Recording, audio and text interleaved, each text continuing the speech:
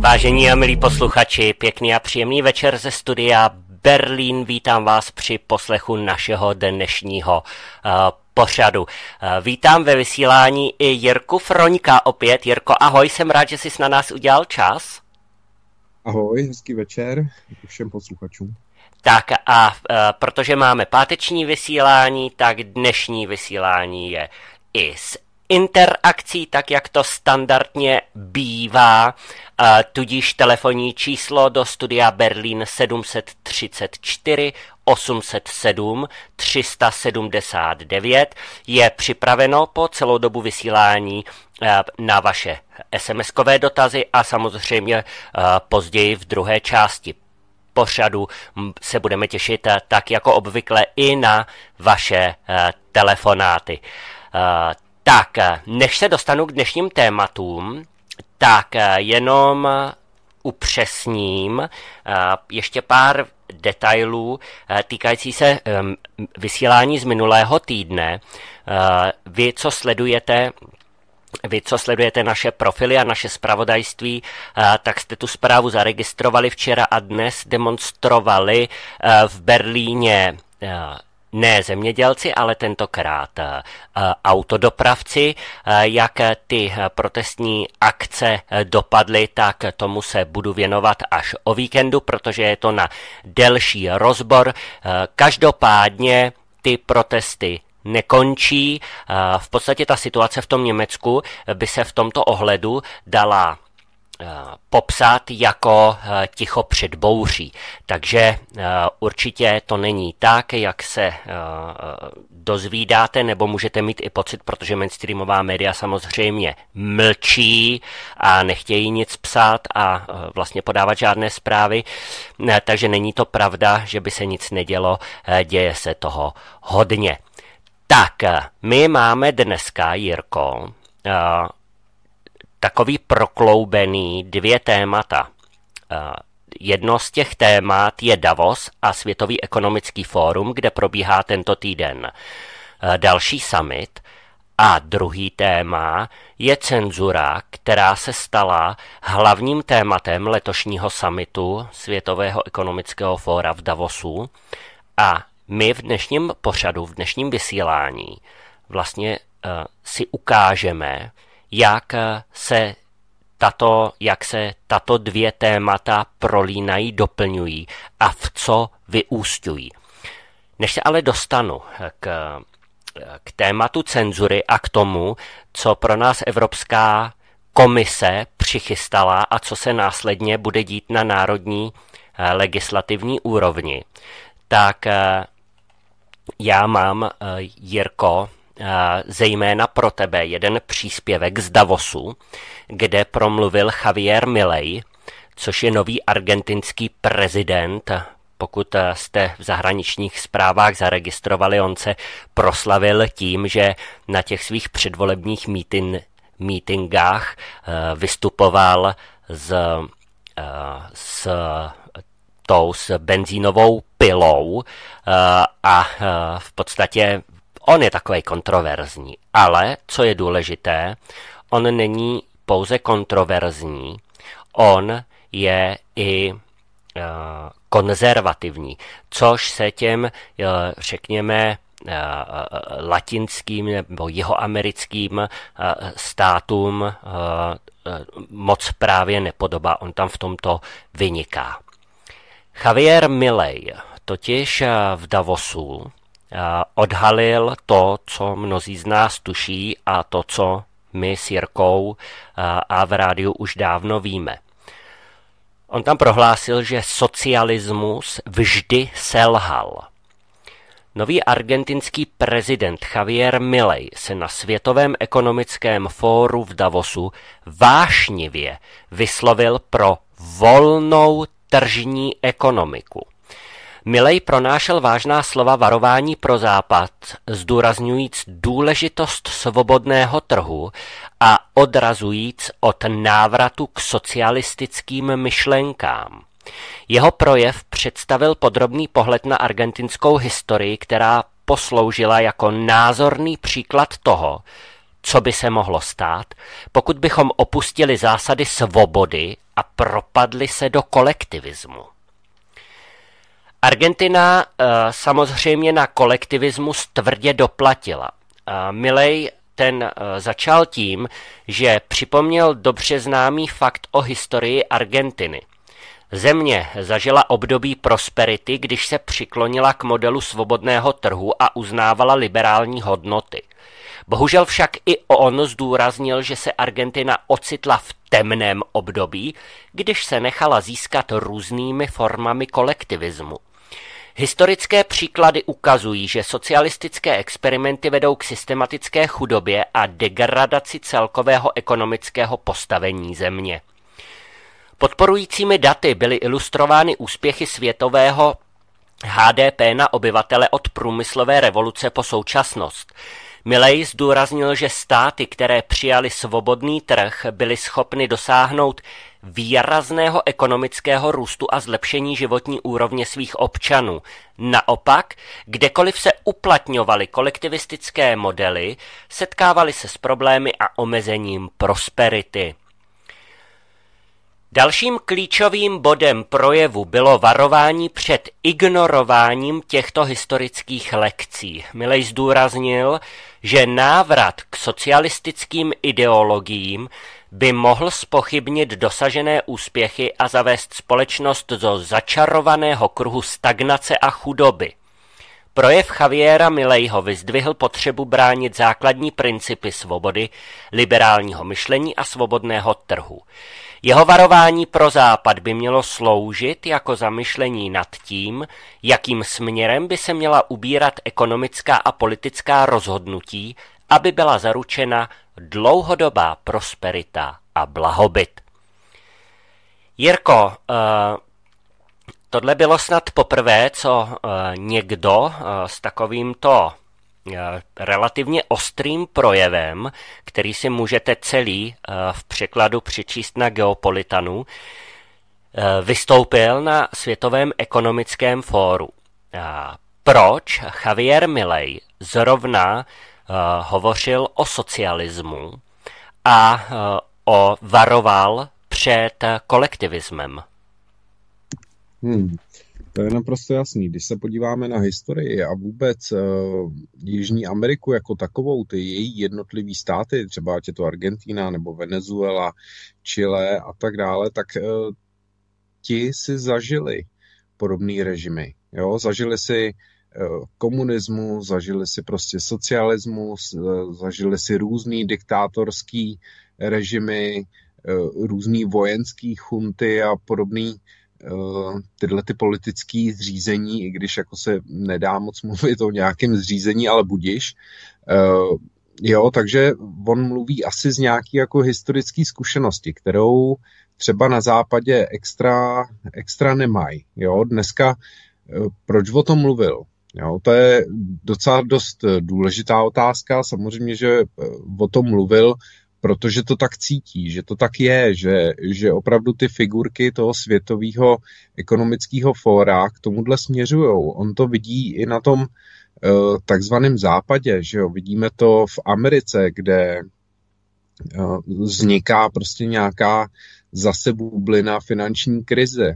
Jo, nikdo neví, kdy přijde a nikdo neví, s jakou razancí. Jo. Může to být daleko, daleko horší krize, než eh, která byla v roce 2008, co se týká jenom toho bankovního systému.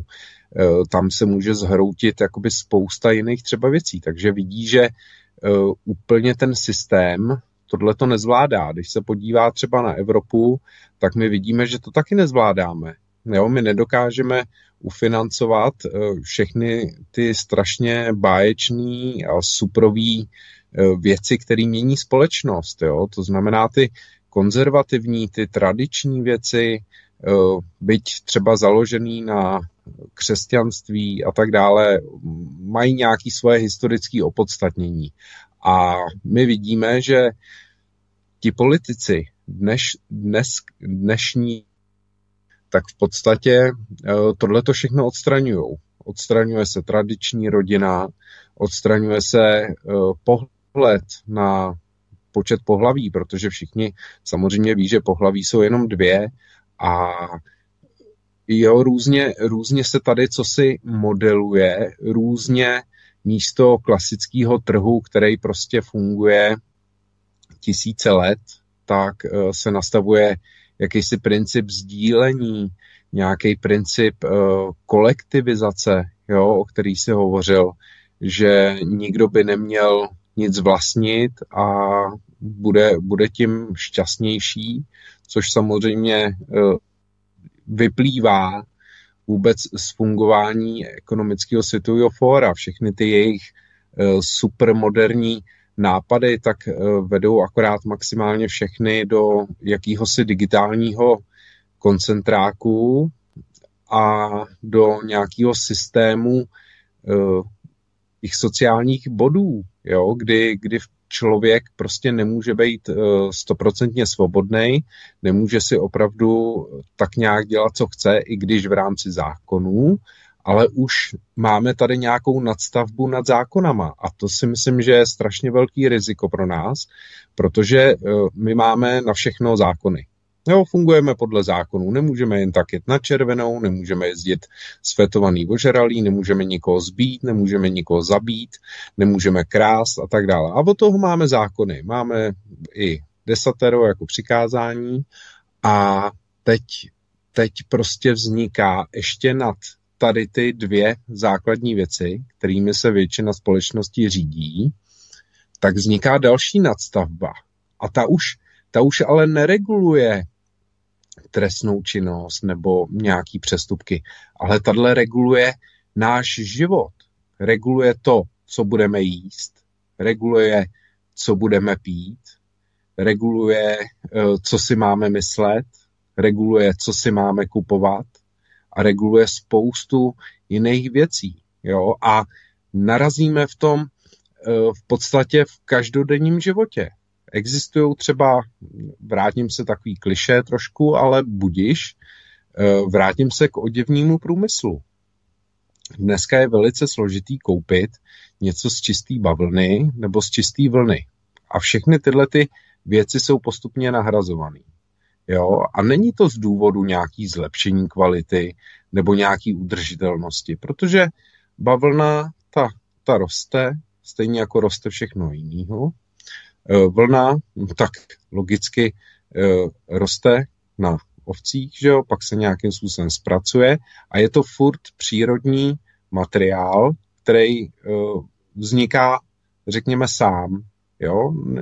jo, je k tomu sice potřeba lidská činnost, ale to k polystyrenu, eh, který, který v podstatě jako zachvacuje ten trh oděvní, no tak eh, tam té práce je daleko víc, že jo. Musí se prostě ty plasty nějakým způsobem zlikvidovat, pak se zpracovávají, pak se různě, různě upravují, různě se eh, jeho mixujou s jinými a pak to pak z toho jako výjde nějaký ten výrobek, jo.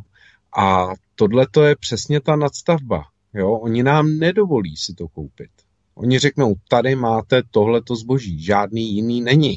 A když si budete chtít něco koupit, tak musíte mít na to ty právě třeba sociální kredity. A když ty sociální kredity nemáte, no tak nepojedete na dovolenou, nebudete si moc koupit pizzu, eh, nezapnete si třeba nevím, nějaký film, nemůžete do kina, nemůžete jezdit MHD a tak dále. Prostě je to taková diskvalifikace člověka eh, ze společenského života a vůbec z života.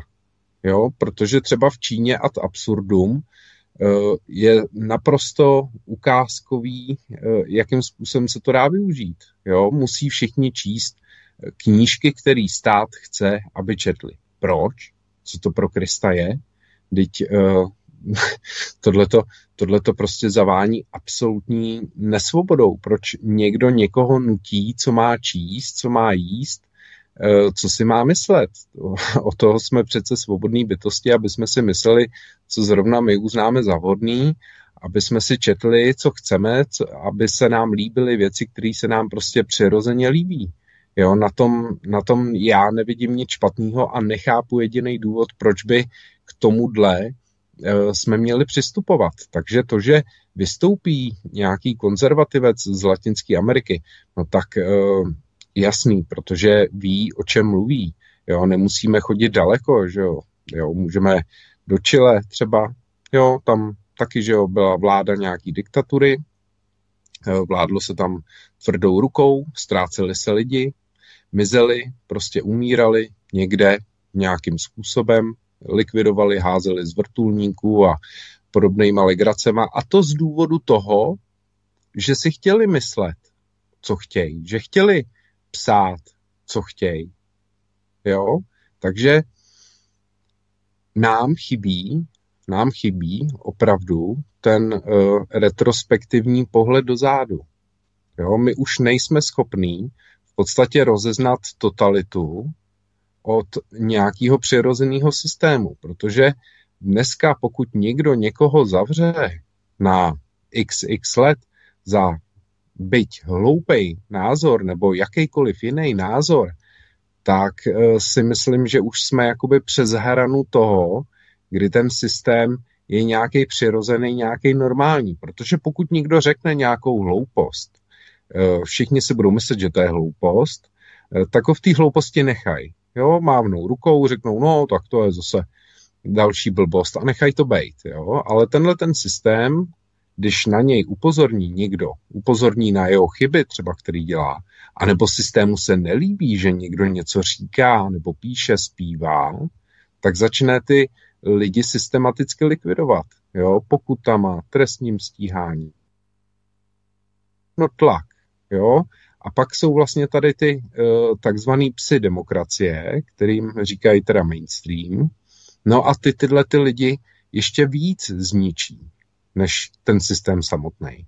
Jo, to, že někoho zavřou, je jedna věc, ale druhá věc je, že o něm píšou, ukazují na něj prstem, říkají, tady ten člověk, tenhle si dovolil říct něco proti uh, třeba naší vládě, nebo dovolil si napsat článek uh, o nějaký změně systému, kdy to je naprosto nepří, nepřípustný. No tak uh, nepřípustný to pro systém asi je, jo, ale pro lidi ne, protože lidi si to přece přečtou, mají právo na informace, mají právo na přístup k těm informacím, přečtou si to a rozhodnou o tom sami, jestli ano, systém potřebuje změnu, změnu nebo nepotřebuje. Ale my vidíme, že ten systém uh, se nějakým způsobem brání a nechce vůbec připustit variantu toho, že dělá něco špatně. A takhle přesně funguje ekonomický fórum. Takže to, že byli zděšený z něj v vozovkách, jo, tak to mě vůbec nepřekvapuje, protože on jim nastavil takovýto mm, nepříjemný zrcadlo, jo, který prostě někdo úplně moc nechce vidět. Mm-hmm. My se k té cenzuře ještě dostaneme, protože ani ty, ani posluchači uh, uh, nemají ani potuchy, co nás od uh, druhé poloviny února čeká. Je to něco strašného a tady jenom řeknu jednu věc a myslím ji smrtelně vážně. Tak daleko, jako zašla Evropská komise v otázce cenzury, kterou, na které tam tedy eh, spolupracovala velmi intenzivně i eh, na, naše eurokomisařka Jourová, tak nemá v historii Československa a potažmo České republiky absolutně obdoby a nemá obdoby ani v tom předchozím bývalém režimu, kterému se říkalo komunismus nebo socialismus což on to úplně nebyl, ale to ponechme stranou. My se budeme věnovat zejména dnešku. Než se k tomu ale dostanu, tak chci zde přednést to, co je právě tím hlavním bodem nebo tématem toho samitu Světového ekonomického fóra. Největším protivníkem pro Světové ekonomické fórum a tedy pro globalisty, jsou takzvané fake news a demokracie. Globalistická elita totiž považuje za největší hrozbu nedostatek kontroly nad demokratickým rozhodováním. Zpráva Světového ekonomického fóra o globálních rizicích do roku 2024, tedy do tohoto roku, označuje za největší globální riziko takzvané dezinformace, které budou ještě více zintenzivněny nadcházejícími klíčovými volbami v tomto roce. Já jsem naprosto přesvědčen o tom, že pokud dopadnou volby v USA špatně, pokud dopadnou volby do Evropského parlamentu tento rok špatně, tak jsme na desítky let uvězněni v totalitě, o které se nám ještě ani nesnilo. E, zpátky k tématu. Takzvané dezinformace jsou klíčovým bodem samitu Světového ekonomického fóra. Jak jsem zmínil, tak tento týden se v Davosu sešlo Světové ekonomické fórum, jehož hlavním tématem jsou výsledky mnoha nadcházejících voleb. Globalistická elita považuje za největší hrozbu nedostatek kontroly nad demokratickým rozhodováním. Zpráva Světového ekonomického fóra o globálních rizicích do roku 2024 označuje dezinformace za největší globální hrozbu zintenzivněnou nadcházejícími volbami. Zpráva varuje před polarizujícími narrativy a zdůrazňuje dezinformace jako riziko pro legitimitu vlád po volbách, jak komentuje Frank Furedi. Autoři zprávy tvrdí, že nepravdivé informace a dezinformace, zejména prostřednictvím šíření falešných zpráv, rozdělí společnost a způsobí politickou nejistotu. Vzhledem k volbám v zemích, jako je Bangladeš, Indie, Indonésie, Mexiko, Pákistán, Spojené království a USA, které se uskuteční v příštích dvou letech a některé i v tomto roce, by podle zprávy mohly nepokoje sahat od násilných protestů až po terorismus. No a čeho se eh, čeho se obává Světové ekonomické fórum nejvíc? Špatného rozhodnutí voličů ve volbách. A to už je aktuální téma, které se týká i nás, protože eh, jste určitě postřehli zprávu eh, nebo zprávy, eh, tu živou diskuzi týkající se právě korespondenčního hlasování. Je to podvod, je to podvod na občany nejen České republiky, ale na občany všech zemích, kde taková forma uh, uh, hlasování ve volbách je nebo byla uzákoněna. My jsme se s tím setkali i v USA a podobně. A je to obrovská nespravedlnost eh, i vůči lidem. No a samozřejmě tato nespravedlnost nahrává právě těm globalistům, kteří se sjíždějí na tom uh, světovém ekonomickém fóru. Obavy z fake news, aby jsme si to trošku připomněli, se objevily po referendu o Brexitu v roce 2016 a po zvolení Donalda Trumpa v témže roce. Tyto události byly vnímány jako výzva pro globalistický světonázor. Od té doby je Brexit považován za pouštěč globální populistické vzpoury v očích globalistů. Strach z populistických hnutí je podněcován myšlenkou, že tato hnutí využívají dezinformace k dosažení politických vítězství.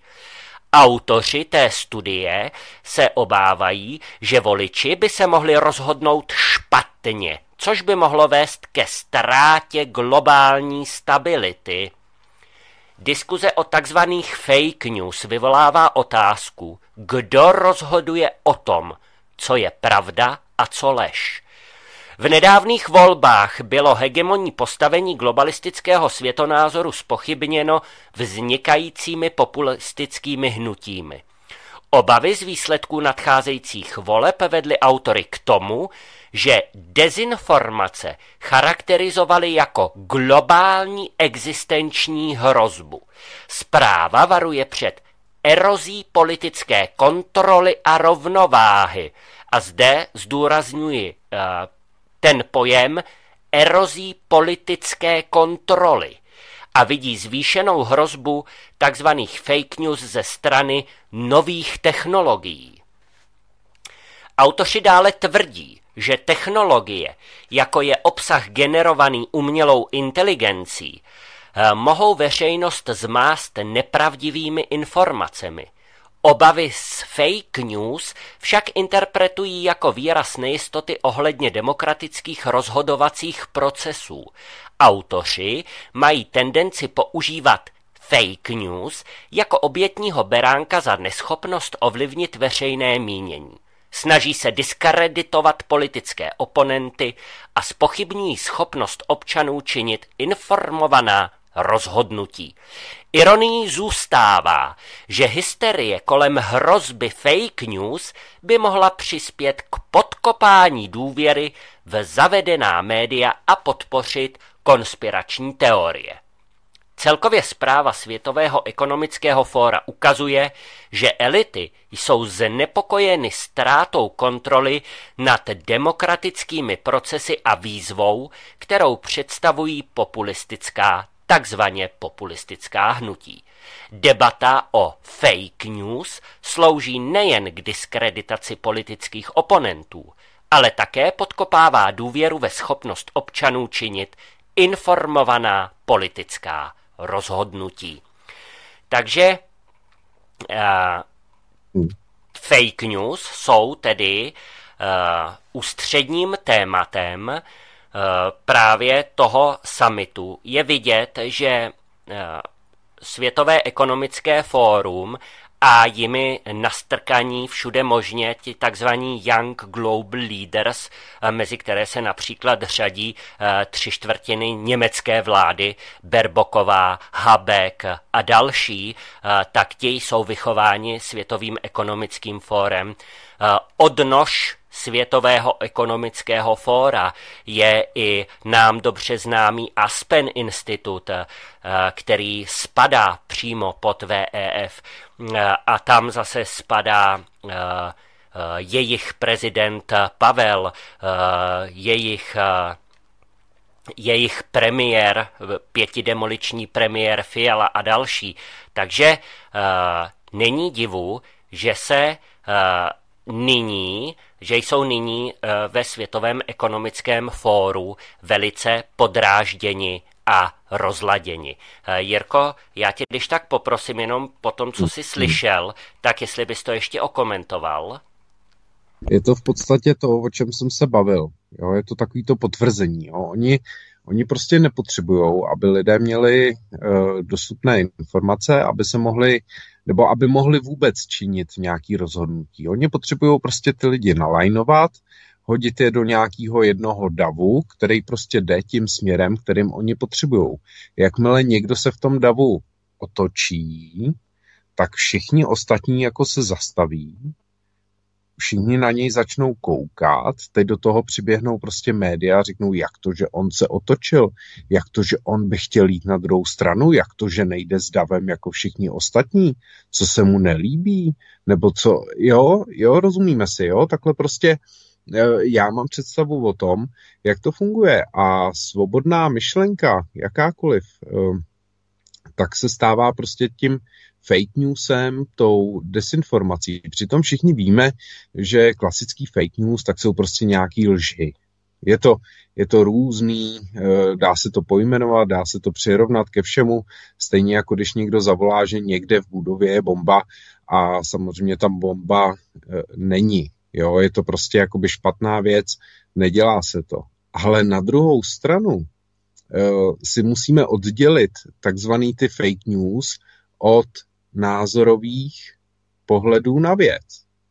Protože jiný názorový pohled na věc podle mě není fake news ani desinformace, ale zdravý pohled člověka, který ještě myslí a nejde v tom davu. Jo, samozřejmě, že těch lidí je daleko míň, ale eh, zaplať pán Bůh jsou. Jo, ne každý se chce sešikovat a jít v tom davu.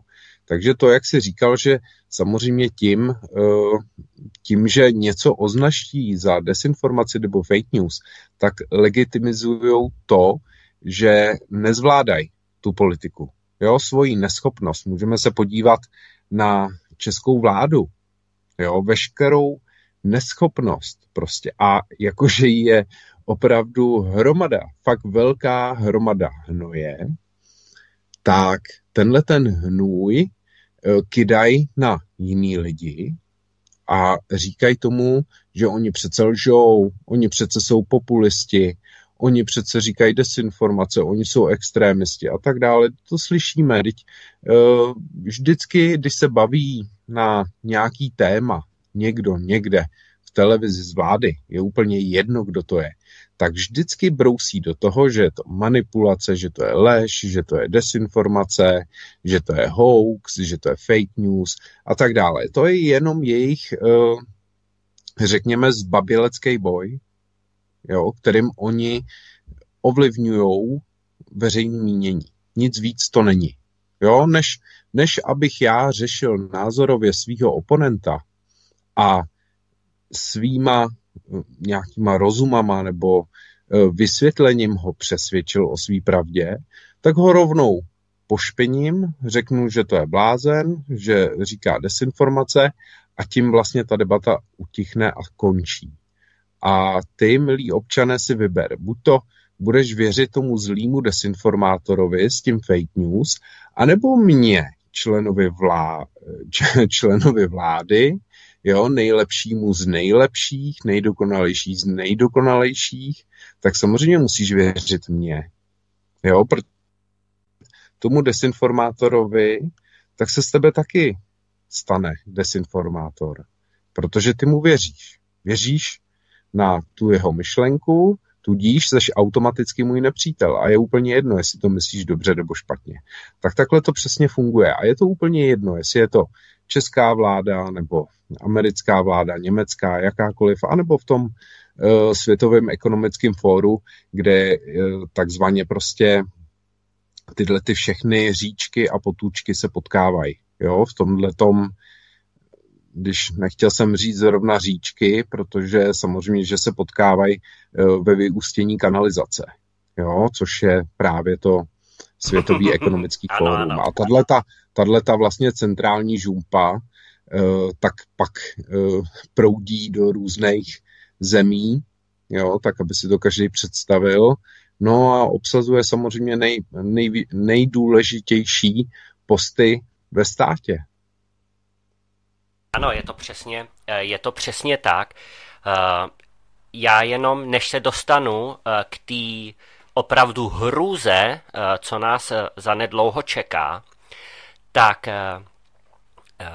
jenom k těm dezinformacím. Je naprosto neuvěřitelný, že žijeme v době, kdy politici a média hlavního proudu, tedy ta mainstreamová i veřejnoprávní, mohou lhát beztrestně eh, a to v zájmu takzvaného vyššího dobra. Eh, kdežto jednotlivec, jakožto občan, ať už Německá nebo České republiky, nebo jakéhokoliv jiného eh, členského státu Evropské unie, tak je za svoji myšlenku, jak si právě Jirko říkal, za, svojí, za svůj řekněme, názor, eh, dnes trestán, zavírán a tahán eh, po soudech a vůbec persekuován, mediálně linčován. A netýká se to jen obyčejných občanů, týká se to samozřejmě i alternativních médií a podobně. Já jsem se strašně musel smát, když jsem teď nedávno četl výrok ministra vnitra Víta Rakušana, který prohlásil, že Eh, eh, veřejné, něco v tom smyslu, že veřejné lhaní by mělo být trestné. Já se tedy divím, proč ještě eh, pěti demoliční vláda nesedí, jo? Hmm. ale to je to teda tak satiricky jenom k, k tomuto tématu. Vážení a milí posluchači, my si teď povíme něco o dárečku, ironicky řečeno, který nám nadělila Evropská komise a o kterém se v České republice vůbec nehovoří. A bohužel eh, nejen na té mediální, ale i na politické úrovni. Jedná se o zákonnou normu, která má za úkol nám definitivně zavřít, tak říkajíc, ústa. A eh, tato norma je, jak již jsem již zmínil, mnohem horší než eh, Eh, než eh, to, co jsme tady měli zřejmě před rokem 1989.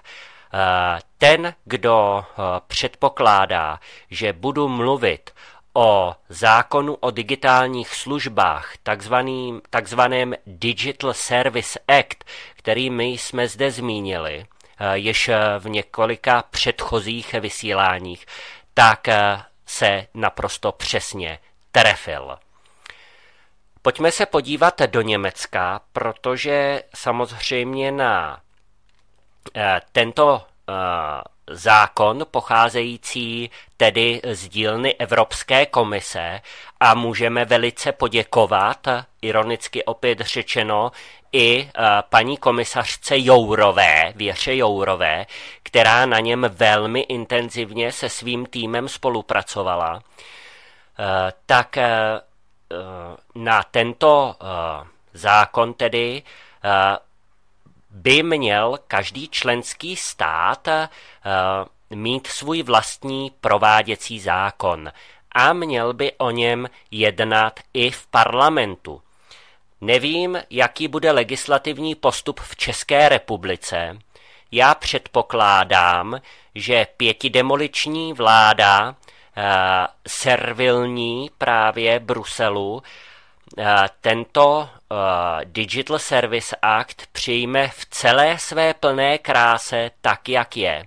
Nicméně v Německu včera proběhlo první čtení a abyste měli představu o tom, co tento zákon obnáší, tak vám to nyní trošičku detailněji přiblížím. Ve čtvrtek, tedy včera, 18. ledna, proběhla v německém Bundestagu první rozprava k zákonu o digitálních službách, eh, což je zákon 20 lomeno 10031 který předložila německá vláda za účelem implementace zákona o digitálních službách, ve zkratce DSA, na národní úrovni.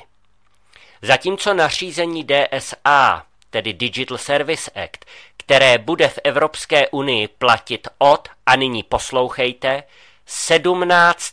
února tohoto roku, upravuje povinnosti náležité péče pro online služby v rámci takzvaného boje proti dezinformacím a nenávistným projevům na internetu a jejich prosazování na úrovni Evropské unie, návrh zákona spolkové vlády upřesňuje povinnosti orgánů v Německu.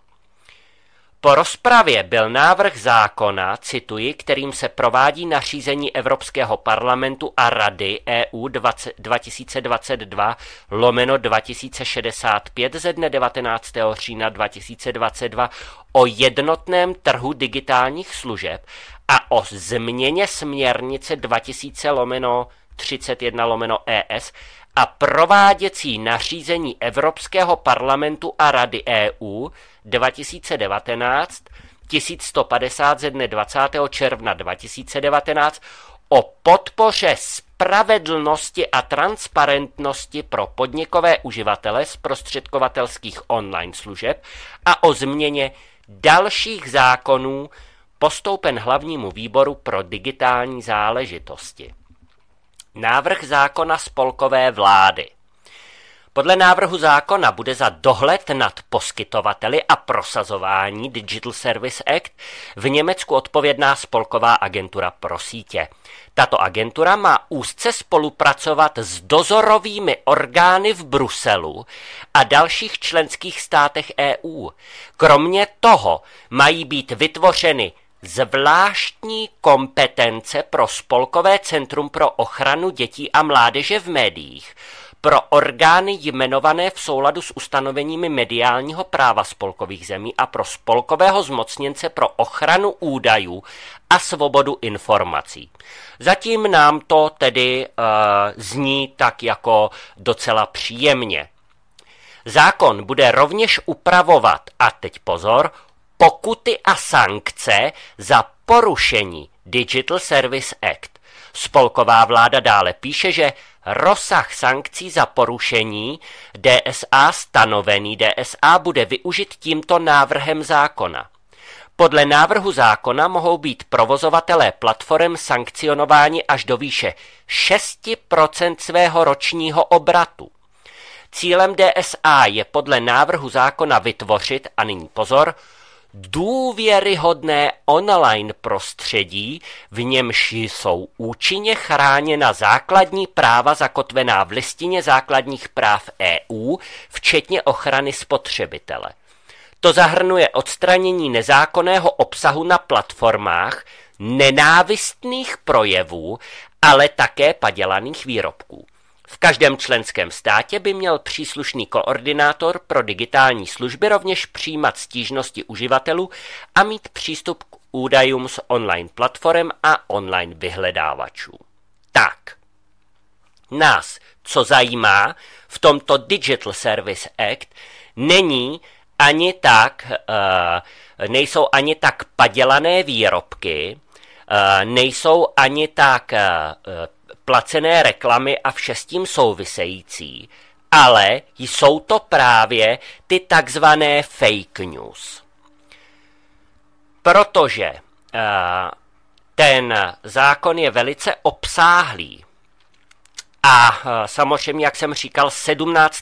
února vstoupí i u nás v platnost, tak jsem pro dnešní vysílání vybral uh, včerejší řeč německé poslankyně za AFD Beatrix von Storch, která jasně i vyjmenovala odstavce, ve kterých se naprosto nebezpečný a pro demokracii naprosto nepřípustný obsah nalézá. Eh, já vám to nyní eh, v českém jazyce samozřejmě eh, přečtu.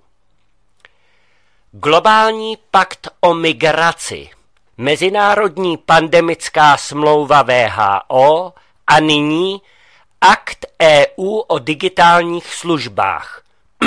to jsou stavební kameny pro zbavení národních parlamentů pravomocí, svévolné pozastavení základních práv a předání moci do rukou OSN, VHO a Evropské unie. Zákon o digitálních službách jde daleko za cenzuru zákona o prosazování sítí. Eh, v Německu je to ten uh, Netzwerk Durchsetzungsgesetz. Novinkou je faktické zavedení zákona o digitální nouzi. To znamená, že smazány mohou být nejen jednotlivé komentáře a jednotliví uživatelé, ale celá platforma, X nebo Facebook, pak zmizí pro všechny, pokud si to EU bude přát.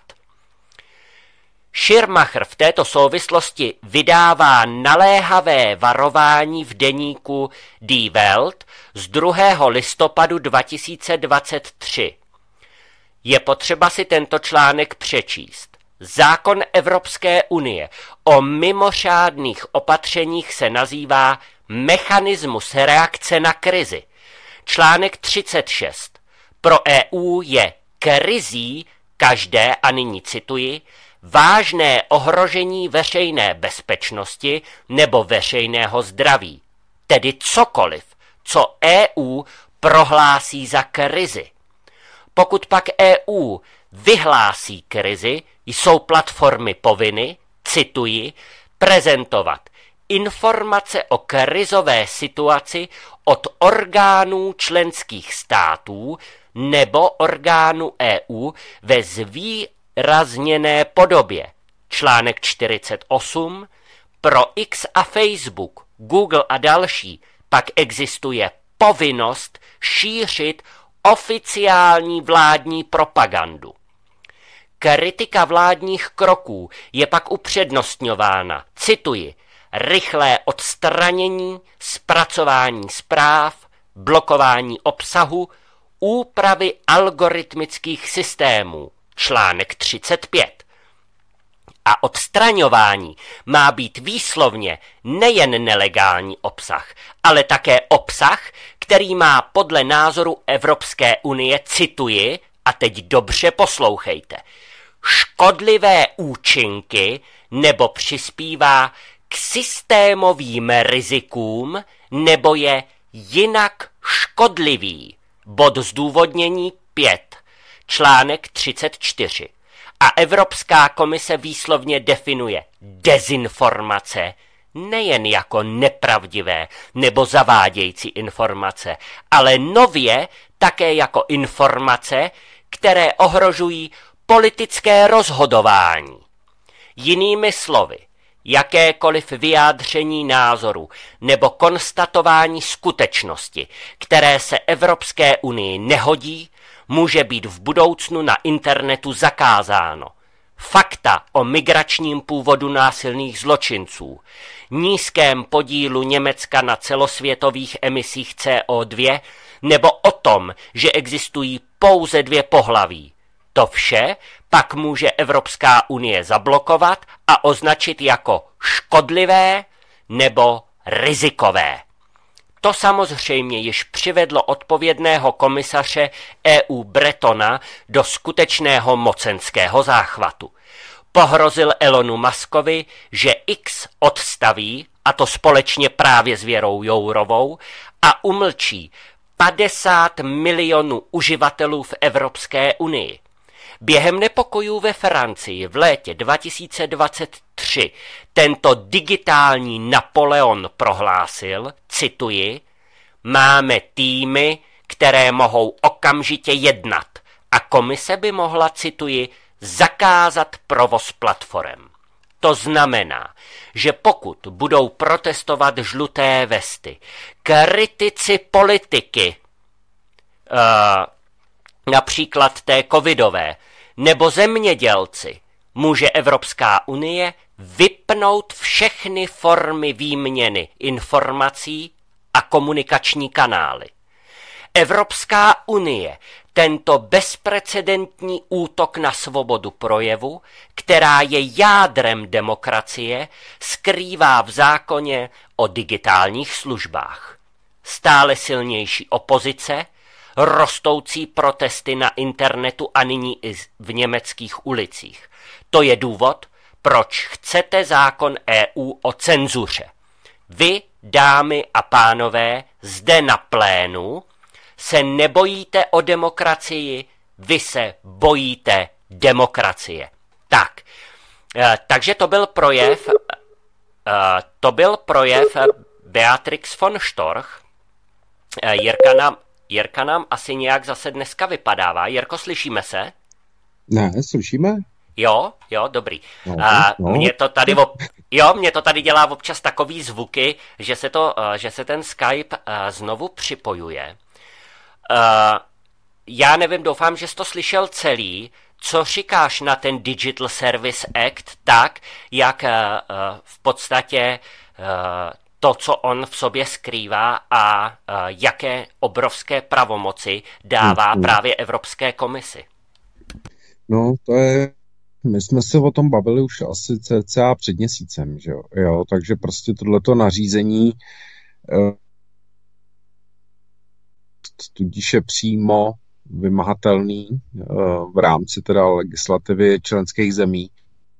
Prostě katastrofa. To jako já nevím, nevím, jak to jinak popsat, jo, ale řeknu Ve Skotsku tak vlastně vláda si doporučila vymazat je WhatsAppový skupinový čety, jo, což je docela dost jako zajímavá věc, jo, když si vezmete, že oni během covidu Eh, si tam vypisovali různé věci, jak budou dělat, co budou dělat, eh, jakým způsobem budou postupovat, tak mi přijde dost zvláštní, že když je to věcí vlády, že tyhle ty věci nearchivuje.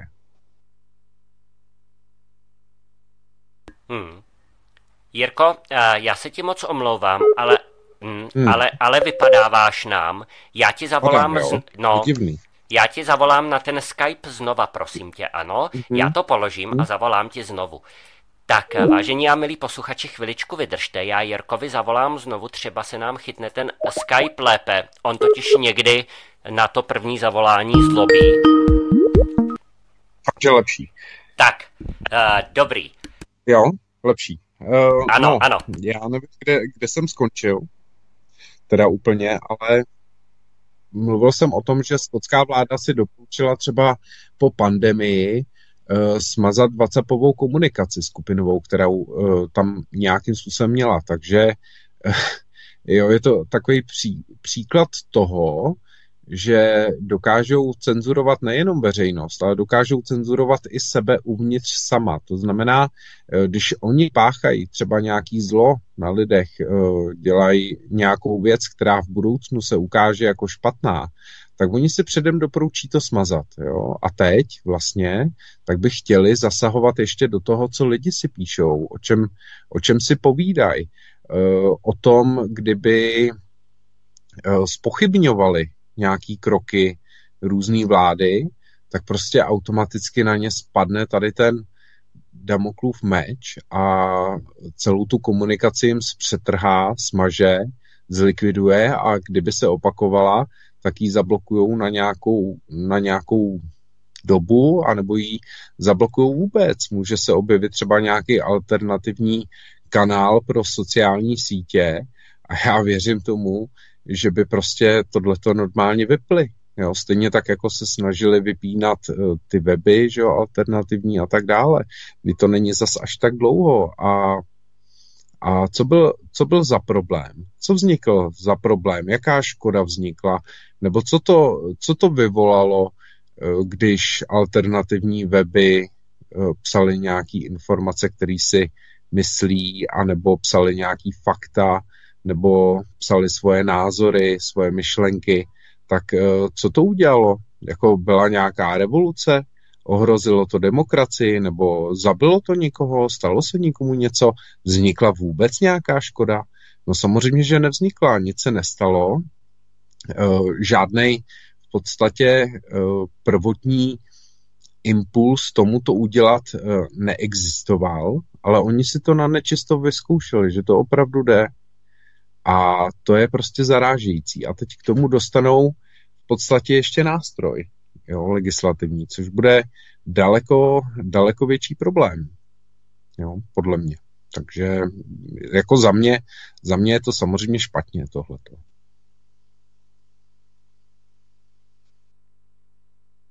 Hmm, hmm. Uh, tady mě překvapila jedna věc a uh, to ta, že v podstatě Brusel teď bude mít možnost, já to uvedu na příkladu.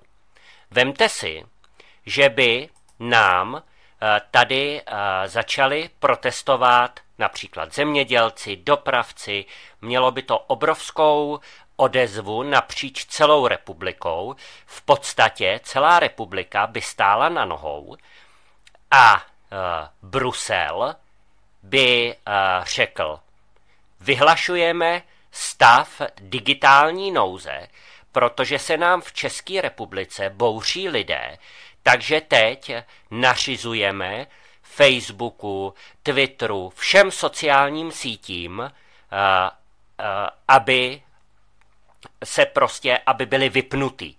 A oni skutečně z toho Bruselu všechny tyto sociální sítě vypnou. Za prvé proto, aby se lidé nemohli domlouvat mezi sebou a nemohli se uh, organizovat. A za druhé, proto, aby se ty informace, tak jak tomu bylo právě nyní, od, v rámci tedy toho dění v Německu, tak aby se nedostávaly za hranice států do těch dalších členských států Evropské unie. To je něco, co je naprosto neuvěřitelný. Nyní, protože tuto možnost ještě nemají, budou jí mít až, jak jsem říkal, od toho 17. února, tak v Německu to použili vlastně okliku, kde vzali ty, toho aktivistu z té provládní neziskové organizace a samozřejmě pro bruselské korektiv, který uh, tedy jakože strašně odhalil tajnou schůzku AFD, na které se údajně mělo jednat o deportacích milionů lidí z Německa. Udělali z toho obrovskou kauzu, obrovský skandál a v podstatě těmi informacemi tady té vykonstruované vládní a prosystémové lži, tak zahltili mainstreamová média jenom proto, jenom proto, aby utlumili spravodajství týkající se Eh, týkající se právě těch protestů eh, zemědělců, dopravců a dalších v tom Německu. Využili dále politických neziskových organizací, zejména těch radikálně levicových, ke svolávání těch takzvaných, a česká televize o tom ráda taky poinformovala, například zloznám, o tom vůbec nemluvím, tak právě Eh, použila tyto neziskovky eh, nebo použili těch svých že jo, oveček k tomu, aby, eh, svol, aby se zúčastnili těch takzvaných velkých demonstrací proti pravici a, a média nepíší nic jiného dne, do dneška o tom, jak každý den chodí tisíce, desetitisíce lidí protestovat proti té radikální pravici a AFD. Za prvé, ta schůzka, my už jsme si to tu říkali, tak byla naprosto, tak, tak to byla schůzka, která byla privátní, neměla s AFD vůbec nic společného. Za druhé, co se týče obsahu té schůzky, tak ani tam není do dneška přesně známo, co tam probíhalo nebo neprobíhalo. Za třetí, eh, té schůzky se zúčastnili eh, další lidé, například i eh, z dalších politických stran CDU, takže a údajně měla být právě tato schůzka iniciována infiltrátem z toho korektivu, tak, aby z toho mohli udělat kauzu, ale to se zatím nepotvrdilo na 100%.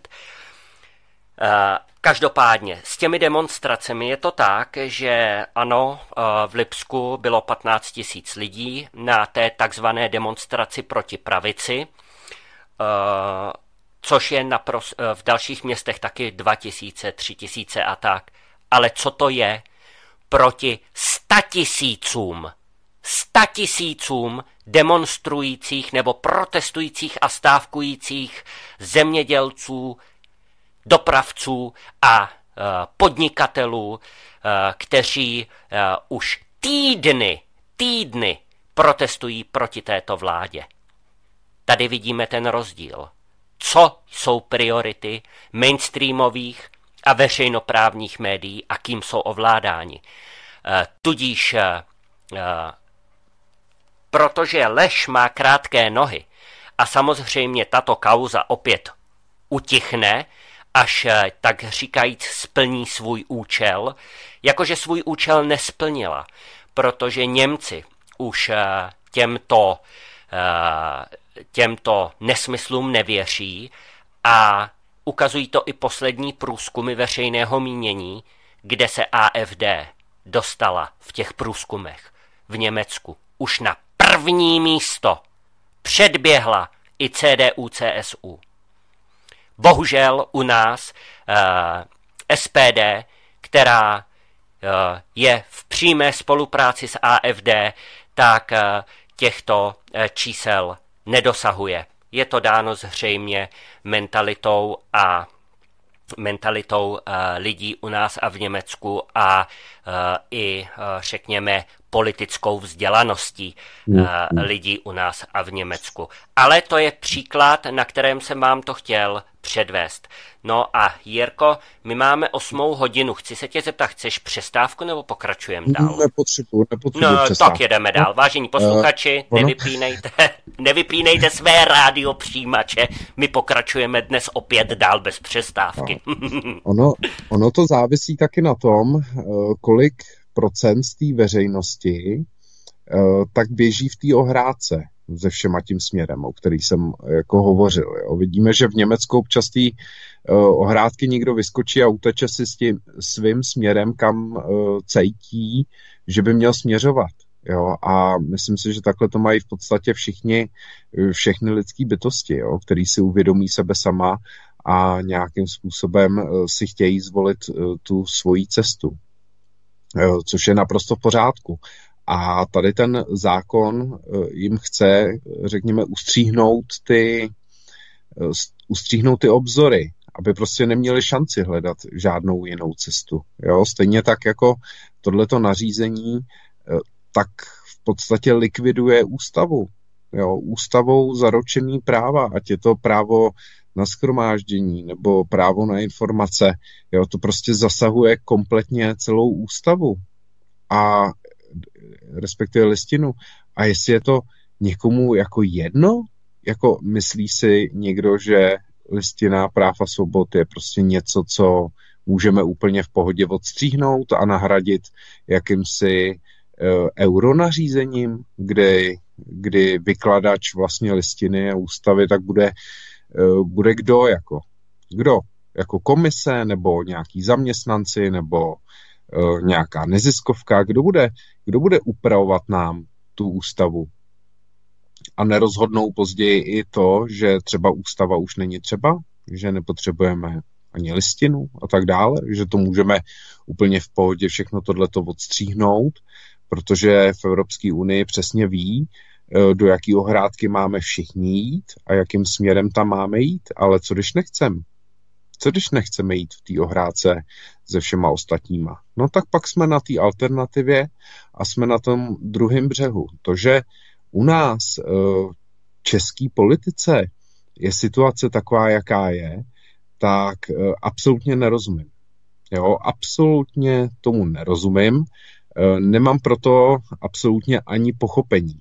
Jo, nemám pochopení v to, aby někdo řekl, je, já jsem se splet, já jsem volil ty blbce a teď vlastně čekám na záchranu, abych volil uh, toho blbce, kterýho jsem volil naposledy, předtím, než jsem volil toho nového blbce. Jo? Respektive uh, tady, tady akorát všichni uvažují o tom, kterýho blbce hodí, ale nikdo neuvažuje o tom, ano, dáme šanci někomu, kdo je uh, malej, nebo takhle malej, kdo je opozice, jo, tak tomu prostě šanci nedáme a dáme nikomu, kdo určitě vyhraje. No tak kdo to bude, že jo? Bude to ANO, nebo bude to pěti koalice spolu, jo, jo těžko říct, jo, jak, jak eh, ty pochodové myšlenky těch lidí fungují, ale já si myslím, že opravdu uh, strašně velký, uh, co tady funguje, tak jak si říkal, ta takzvaná politická nevzdělanost, jo, to ovlivnění, uh, to prostě PR, který zasahuje tady voliče, tak prostě musí být strašně moc uh, dobře udělaný nebo, nebo strašně moc jako manipulativní, jo? že dokážou prostě takovouhle masu voličů zmanipulovat, když jinde ve světě už dávno ví, která by je, už dávno hledají alternativy, hledají hledaj něco, co je protipólem prostě Eh, tohodle liberálního progresivismu. Jo, ale u nás, jako kdyby, jako kdyby se nic nedělo. Tady prostě Češi, že jo, vyrábí jo, nejlevněji elektřinu, kupují ji nejdráž, jo, vyrábí plzeňský pivo, který si kupují u nás dvakrát dráž než třeba v Německu a tak dále a tak dále. Jo, to můžu vzít i fialu s tou jeho nutelou, to je typický, typický příklad a tak dále a tak dále. Tady jako můžeme, můžeme se hodiny bavit o tom, co je prostě špatně, lidem to vadí, všichni to vidí, ale nikdo neřeší, jak z toho ven. Nikdo neřeší, že stačí v podstatě jenom uh, u voleb více přemýšlet a zvolit si nikoho, kdo tam buď to nebyl, anebo komu můžu aspoň důvěřovat. Hmm, současná vláda samozřejmě důvěru mít uh, si myslím, teda osobně si myslím, že absolutně mít nemůže ani u svých voličů na tož, na tož aby uh, aspirovali na to, že by mohli vyhrát volby. Jo, to mi přijde, to mi přijde úplný sci-fi, ale nevím, jaký nástroje k tomu použijou. Jo, protože tady vidíme opravdu, že podle použitých nástrojů uh, tak jsou výsledky voleb. Jo, tak prostě to je jasný, když si takhle nakous ty volby. Jo. No, je to tak právě. Eh, to korespondenční hlasování, tak to je jeden z nástrojů, který oni budou chtít strašně využít, že jo? teď eh, kdo ví, jaký možný podvody se tam eh, budou moc dělat. I když já si nemyslím, že by se právě při tom korespondenčním hlasování ze zahraničí eh, dělali nějaký podvody, protože, protože jak víme z předchozích voleb, tak v zahraničí žijou spíše lidé tedy toho, toho ty, li, li, ty, ti liberální demokraté, takže eh, tady víme, komu by ty hlasy, eh, hlasy přispěly. Eh, nicméně já zastávám ten názor, že člověk dlouhodobě žijící v zahraničí by prostě volit neměl v republice. Neměl. Proč? Proč? Ať volí tam, kde žije a nevolí tam, kde nežije. Takže to je takový můj náhled no, na to. Paradox je, paradox je, že ještě volí lidi tam, kde žít nechtějí. Jo? To znamená, že spousta těch eh, lidí, kteří žijí v zahraničí, eh, tak třeba nechtějí, nesnáší to tady. Jo? Nelíbí se jim tady, nemají rádi zdejší lidi. A přesto jdou a volí. Jo? Což, což absolutně vlastně jakoby popírá způsob uh, nějakého jejich uvažování. Přece když, když nemám rád uh, Českou republiku, nemám rád její lidi, nemám rád vůbec život tady, nemám to tady rád jako celkově a chci žít někde jinde, třeba v Karibiku, to není, není samozřejmě dneska problém, jo, protože se mi tam líbí, no ale tak proč, proč mám jakoby potřebu jít volit někoho jako třeba spolu, že jo? jo to absolutně, absolutně nedává smysl, protože oni opravdu eh, ten život v České republice nezlepší. My to, my to vidíme. A ta korespondenční volba je podle mě je to prostě další nástroj na manipulaci voleb. Jo, proč, proč má vznikat korespondenční volba? Když se doteďka se probíhaly volby i bez toho. Proč ano, najednou to, se hledají nějaký nové cesty? No protože jim to nevychází tak, jak by chtěli. Jo, dneska už každý vládě se směje a jako tonoucí se stébla chytá, tak i tato vláda prosazuje korespondenční volbu a je to právě z tohohle důvodu, že mají takzvaně strach. Jo, nic víc v tom asi pravděpodobně nebude ani. Je to přesně tak. Eh, pojďme ještě na chvilku zpátky k té cenzuře, eh, protože eh, já jsem si všiml, že třeba Google, tak pokud má někdo alternativní spravodajský web a jsou tam zprávy, kde, které kriticky tedy informují o například očkování, koronavirové pandemii, o Angele Merklový, o Klausi Švábovi a dalším, tak Google už dnes a, takové články vyhodnocuje jako nepravdivé informace, zavádějící informace, dokonce i nebezpečné informace a blokuje tam reklamu, blokuje příjmy z reklam. A to je právě ta druhá část toho Digital Service Act, kdy tedy ty velké platformy, tak oni už nebudou moci ani v podstatě vydělávat na těch, na těch řekněme, soukr- soukromých platformách, které jsou pouze kritické k politickému systému a nebo k vládě, což je naprosto něco, uh, uh, něco neuvěřitelného. My se tady dostáváme opět do oblasti uh, finanční, kdy nejen protože Google a další giganty to moc nepoškodí, ale ty provozovatelé těch alternativních spravodajských webů to samozřejmě nějakým způsobem, nějakým způsobem finančně určitě poškozuje.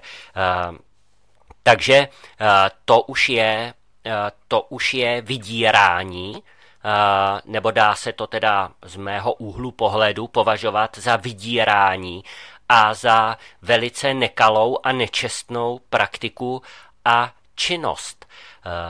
Takže to jenom k tomu tedy ještě k té cenzuře, jaký ona vlastně bude mít další dosah od toho 17 února.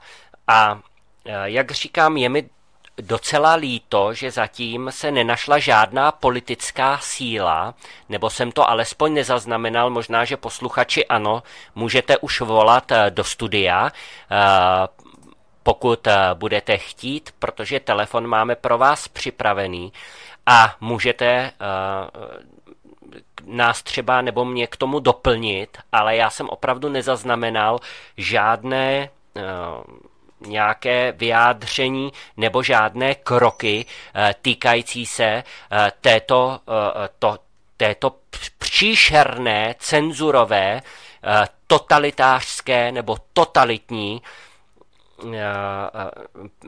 zákonné normy. To je něco strašného. Telefon do studia zopakuju číslo 734 807 379. Posílejte SMSky a uh, určitě nám zavolejte, budeme rádi. Je vás dneska tady hodně posluchačů, takže uh, máte možnost se do naší diskuze i zapojit. A uh, já se tady obávám ještě jedné věci, totiž Jirko. V momentě, kdy tenhle ten zákon vstoupí v platnost, Digital Service Act, tak se obávám, aby to potom nemělo i e, dopady právní na jednotlivce a nebo na provozovatele různých webů. Ale než se k tomu dostanu, tak tu máme pr- první uh, telefonát, já ho vezmu.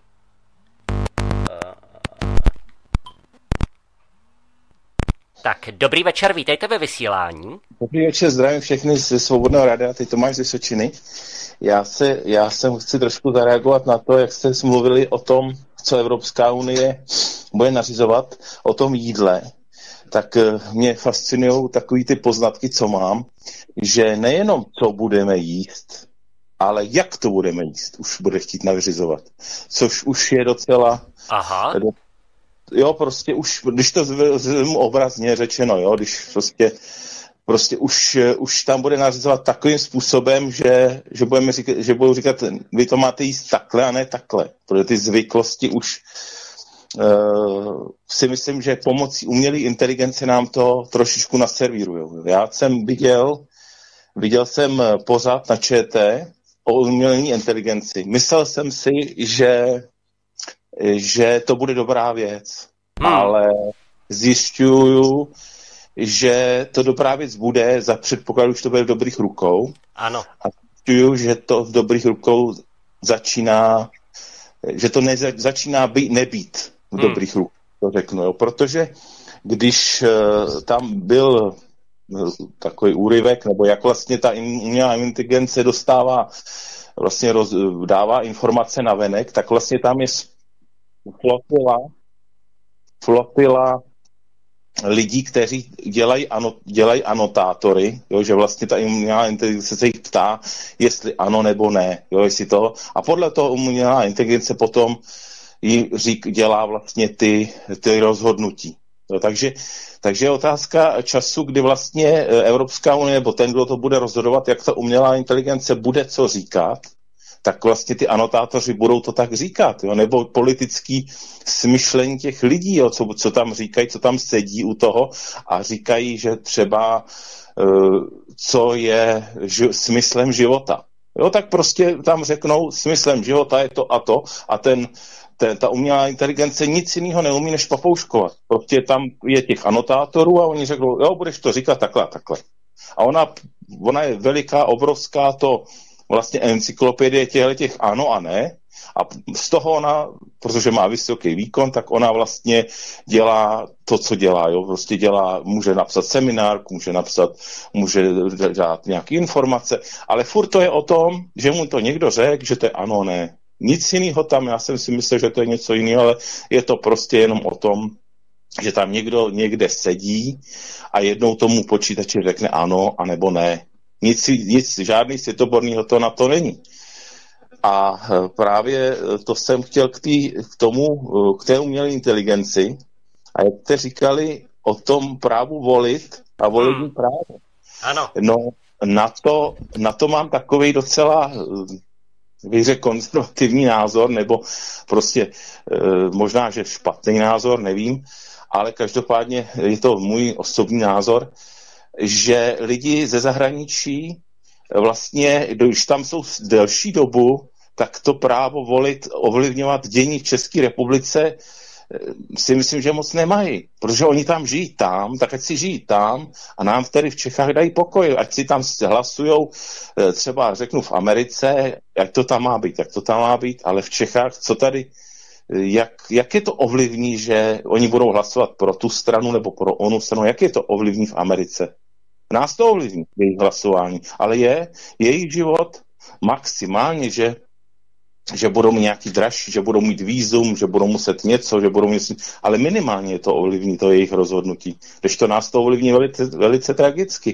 Když, mhm. když tady vyhraje nějaká, takže si, nějaká strana. Takže si osobně myslím, že že to volební právo, pokud tam žijí, nejsou na studiích, někde žijí tam delší dobu, nebo dokonce jejich děti, který neumějí, jak říkal pan Okamura, že neumějí, že nikdy v Čechách nebyli a že, že vlastně neumějí pořádně česky, nebo neumějí vůbec česky, no tak co, co to má za význam, aby takový člověk ovlivňoval dění tady českých, českých občanů nebo občanů České republiky. To prostě mi připadá takový docela docela, uh, docela takový nefér vůči, těm, vůči nám, co tady v České republice žijeme. A další věc, ano. to, to už ještě o tom, o tom vystěhovalství, protože sám jsem chtěl taky odejít z České republiky, ale musím přiznat, že to bylo ryze z ekonomických důvodů, protože prostě se mi tady nelíbilo, kolik tady vydělávám po tom a po vyučení a si říkám tam, když budu pracovat jak tady, tak tam budu mít obrovský, nebudu zdravý člověk, nebudu chodit po doktorech, tak eh, si tam vydělám daleko víc, jo, protože tam nebudu platit tolik sociálního zabezpečení, jak tady v České republice. Tady sociální zabezpečení v České republice máme na velice dobrý úrovni, který jsme tady budovali naši eh, rodiče a prarodiče, který teď se celkem dobře zdaří zničit, ale sám jsem tam chtěl odejít jenom z tohohle toho důvodu, že si tam vydělám víc za stejnou práci. Takže ty lidi, kteří tam odejdou a mají třeba vysokoškolské vzdělání, tak je otázka času, teda otázka, otázka taková, jestli by náhodou by třeba nemohli zaplatit to vzdělání, který tady získali.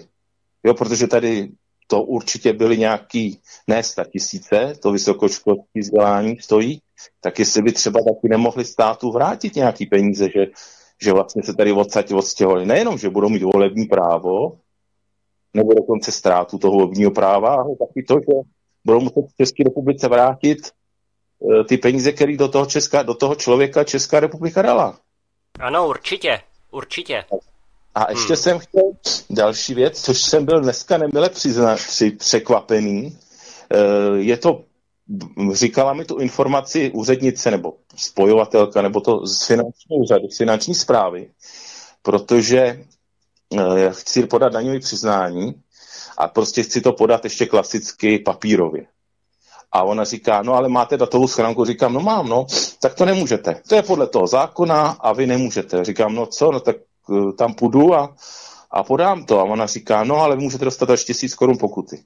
Že tam půjdete papírově, když máte datovou schránku, že za podání toho daňového přiznání písemného, ne elektronického, dostanete pokutu tisíc korun. To mi bylo řečeno na finanční správě. Nikde jsem se teda, hmm. tak jsem se díval do zákonu, nikde jsem se o tisíci korun nedočet. Jestli to, byl, jestli to byl takový prostě strašák z těch úřadů, aby prostě lidi dávali, eh, aby dávali, kdo má datovou schránku, eh, daňové přiznání elektronické, aby je prostě do toho, prostě na, na tohle, na, na nějakým způsobem navedli. To nevím. Každopádně mi tohle to bylo řečeno na finančním úřadě. Takže eh, bude to docela eh, letos zajímavá věc s tím, s tím podáním, jestli to teda bude takhle, jak to říkal paní. Dobře, Tomáši. Tak eh, děkujeme moc za váš příspěvek. Určitě jste tady vnesl další zajímavý témata a my se o, něm, my se o nich teď podiskutujeme s Jirkou. Jo, takže, děkuji. takže děkujeme a nashledanou. Mějte se. Děkujeme, mějte se. Tak, eh, to byl po delší době eh, Tomáš z Vysočiny, eh, takže my jsme rádi za to, že nám zavolal hmm. a Tomáš z Vysočiny tedy řekl, že se na něj možná někdo bude zlobit, že v otázce korespondenčního hlasování je konzervativní. Ne, já s ním naprosto souhlasím. Všechno, co řekl, já s ním naprosto souhlasím. Protože pokud se někdo rozhodl opustit Českou republiku, tak nevidím jediný důvod, proč by měl spolu rozhodovat o směřování eh, České republiky. Ať si rozhoduje o směřování té země, ve které žije a ve které pobývá. Uh, ono je na... to docela sranda. Hmm. Jo, takový, promiň, že tě do toho skáču, hmm. jenom tak jako vsuvka, bych na to nezapomněl. Oni všichni točí jsou si vědomí svých práv, ale nikdo, nikdo, kdyby to byly povinnosti, kdyby to byla povinnost, tak uh, najednou nikdo to jakoby nebude chtít, jo, ale jakmile se jedná právo a takový jako využít, tak to jako zase takový zase problém není, no. Ne, je to naprosto, eh, je to naprosto tak, jak ty říkáš. A to korespondenční hlasování je prostě, eh, je prostě podraz. Není to nic jiného než podraz. Tak, Jirko, Tomáš tam ještě zmínil... No, jasně.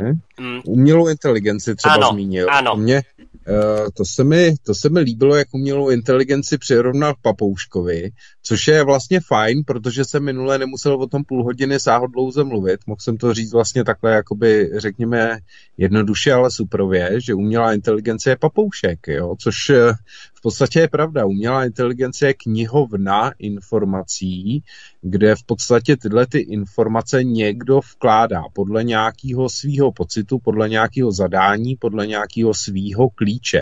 Jo? A každá umělá inteligence je jiná. To znamená, není to čistě, že by umělá inteligence sbírala nějaký nezávislý a stoprocentní informace. Ne, ne, ne, ne, ne. Když já si vytvořím umělou inteligenci a zadám do ní, že nejlepším prezidentem v České republice a v historii byl Mickey Mouse a někdo se zeptá, kdo je nejlepší prezident v České republice, tak umělá inteligence napíše, že Mickey Mouse. Všichni víme, že to je samozřejmě blbost, ale umělá inteligence si neuvědomuje, ona nemá to vědomí. Ona je jenom uh, strojově v podstatě přepisuje ty data do ní vložený. Jo? Naprosto jednoduchý. A ještě mluvil o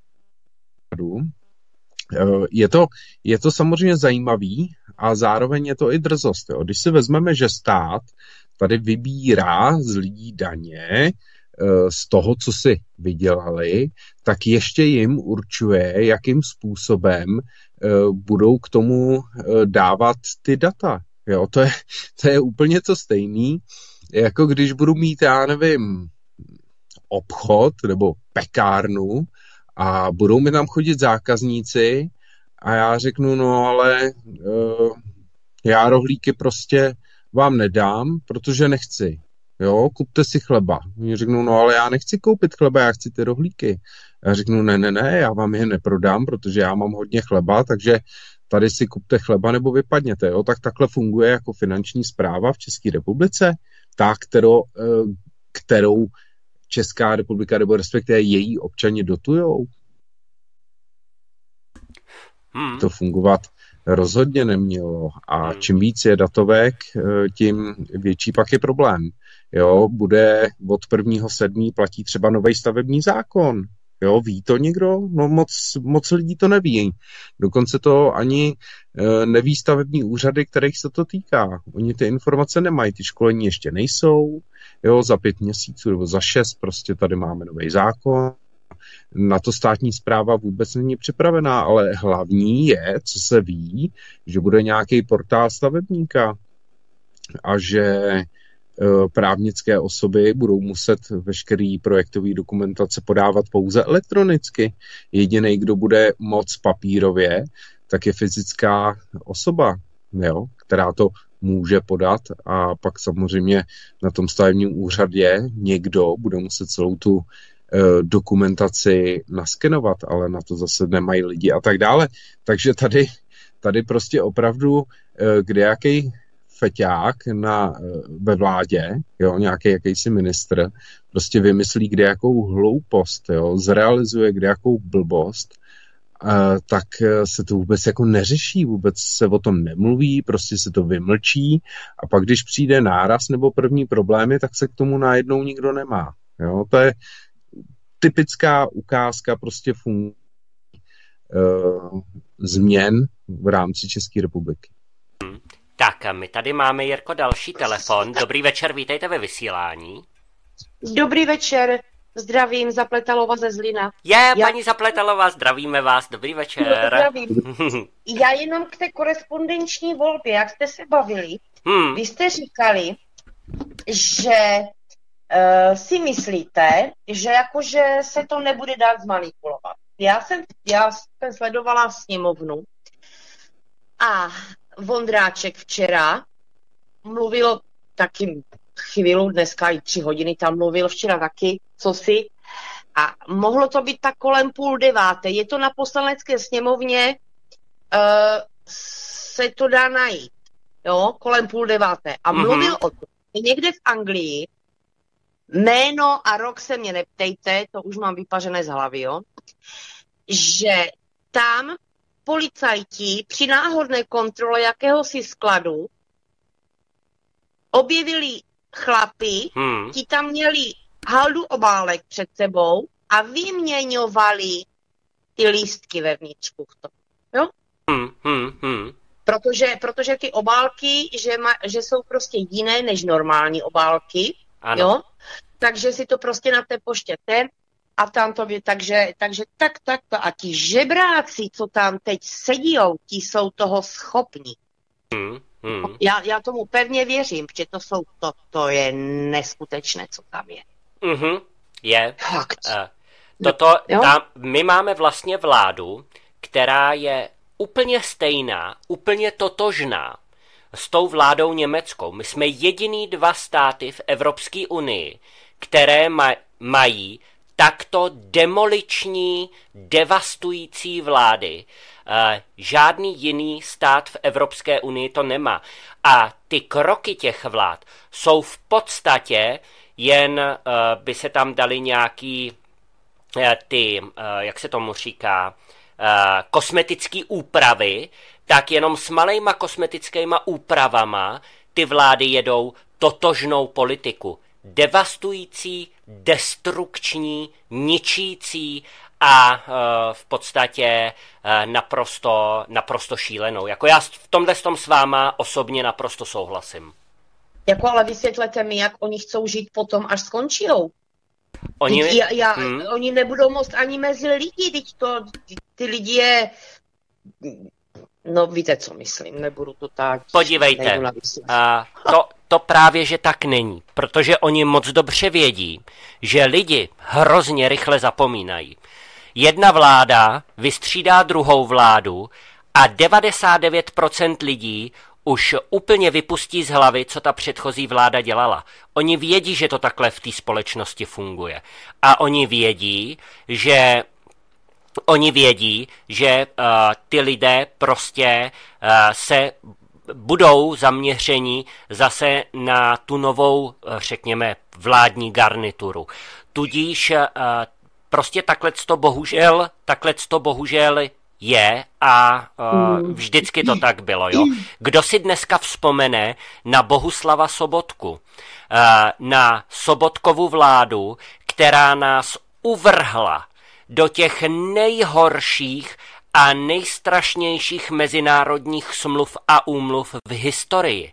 Nikdo si na to dneska nevzpomene. Já ano, protože uh, já nezapomínám ale uh, dneska už si na sobotku vzpomene jen málo kdo. Jo? Uh, a to bychom takhle mohli jít uh, je, dozadu a dozadu, vidíte. Je, je to fakt jako lidi, lidi jsou prostě blbí a já nevím, já, já, já to nechápu. Tady toto. Hmm. Jo, no. ale, ale je fakt, hmm. že, že lidi takový jsou. Ne teda všichni, ale je jich, je jich hodně, to je pravda. Hmm. Tak ono to není Dobře. o tom, jo, ono to paní Zapletalová není o tom, že by lidi byli v tomhle tom směru zrovna blbí, jak říkáte, nebo hloupí, ale ono je to tím, že eh, většina těch lidí prostě ty informace a to dění nestíhá vnímat tak, jak hmm. ho třeba stíháme vnímat my, nebo lidé, kteří se tomu skutečně aktivně věnují. Jo? To, je zase, eh, to je zase druhá strana mince, protože pokud eh, lidé mají svoje vlastní problémy, které musí řešit, tak primárně se věnují jim a teprve potom až tomu dění kolem nich. No. Tam je to o těch kapacitách, jo. Ale tohle, co říkám, mm, to, ty, to ti politici moc dobře vědí, oni mají na to ty svoje PR týmy a, a ty, svoje, a, ty svoje poskoky, jak bych tak řekl, takže kteří jim tohle radí, takže oni vědí. No a z čeho budou žít, to vám hmm. taky řeknu rovnou na té destrukci, na té neuvěřitelné destrukci tohohle toho státu, eh, tedy České republiky, ale i Německa, samozřejmě někdo strašně, strašně moc vydělává. A, no to si pište. A já si, já si rozhodně nedělám žádný iluze o tom, že by těm politikům z toho, jak se říká, nekápla nějaká ta malá domu. Takže, eh, ale to je můj názor. No, tak, jinak by to nedělali. Tak. Dobře, tak jo, paní Dobře. Zapletalová. Jo. Díky jo, moc, helejte, mějte se, děkujeme za zavolání. Dobrou noc. Děkuji, nashledanou, dobrou. Naschle.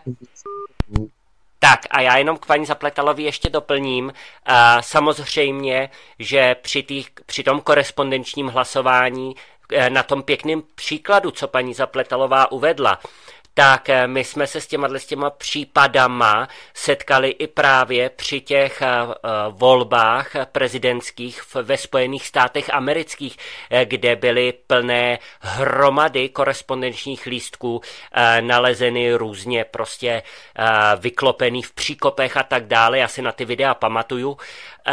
Já, já to jenom trošku se poupravím. Já jsem to nemyslel tak, že by nebyly možný nebo že by se dali vyloučit ty podvody u té korespondenční volby. Samozřejmě, že volby jsou tímto způsobem sfalšovatelné. Eh, já jsem to spíš myslel tak, že vzhledem k tomu publiku, které žije v zahraničí většinově, tak se domnívám, že ty podvody by ani nebyly potřeba, protože většina těch lidí, eh, co volí ze zahraničí, tak by právě šla na ruku této stávající eh, vládní pětidemolici například. Tak Jirko, máš slovo. No, já si myslím přesvědčený o tom, že eh, ta korespondenční volba jako taková, tak prostě přinese akorát nedůvěru ve volební systém. Nic víc, nic míň.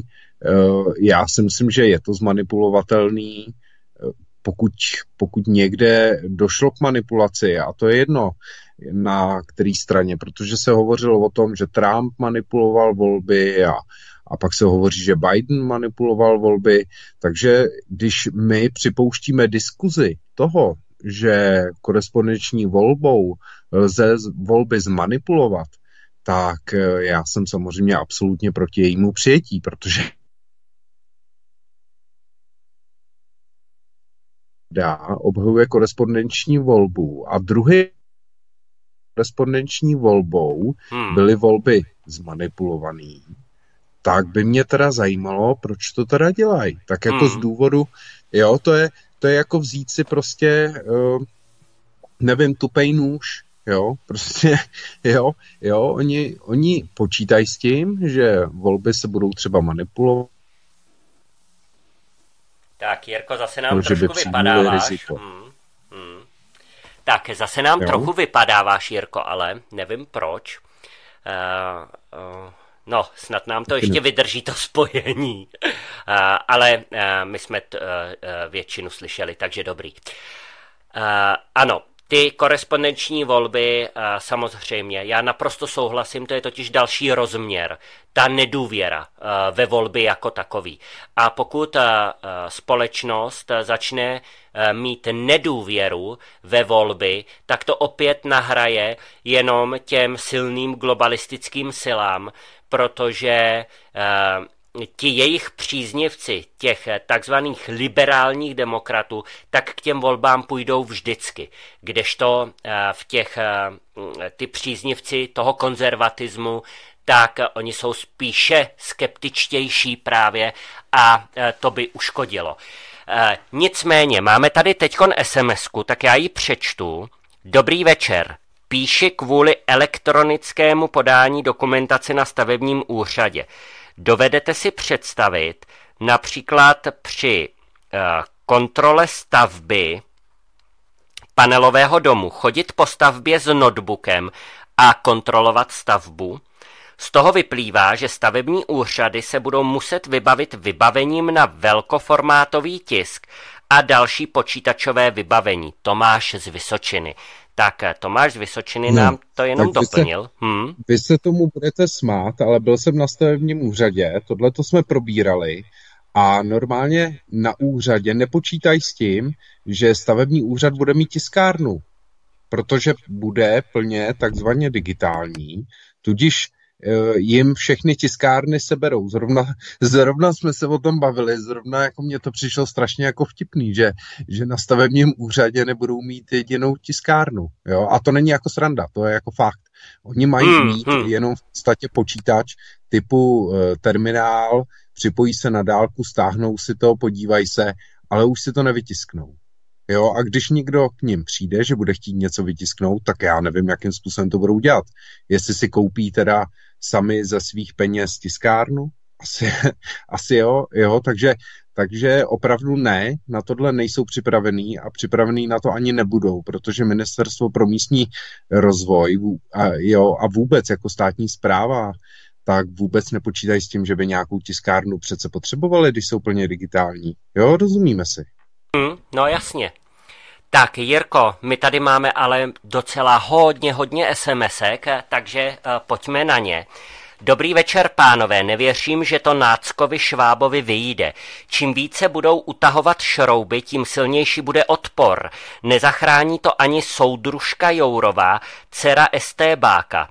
Stále více lidí se probouzí a z toho mají strach. Chce to maximální osvětu, nejlépe ve veřejném prostoru a sdílet a šířit v největší míře. S pozdravem Jiří Langmajer. Tak zdravím Jiřího Langmajera a poprosím tě teda o reakci, Jirko.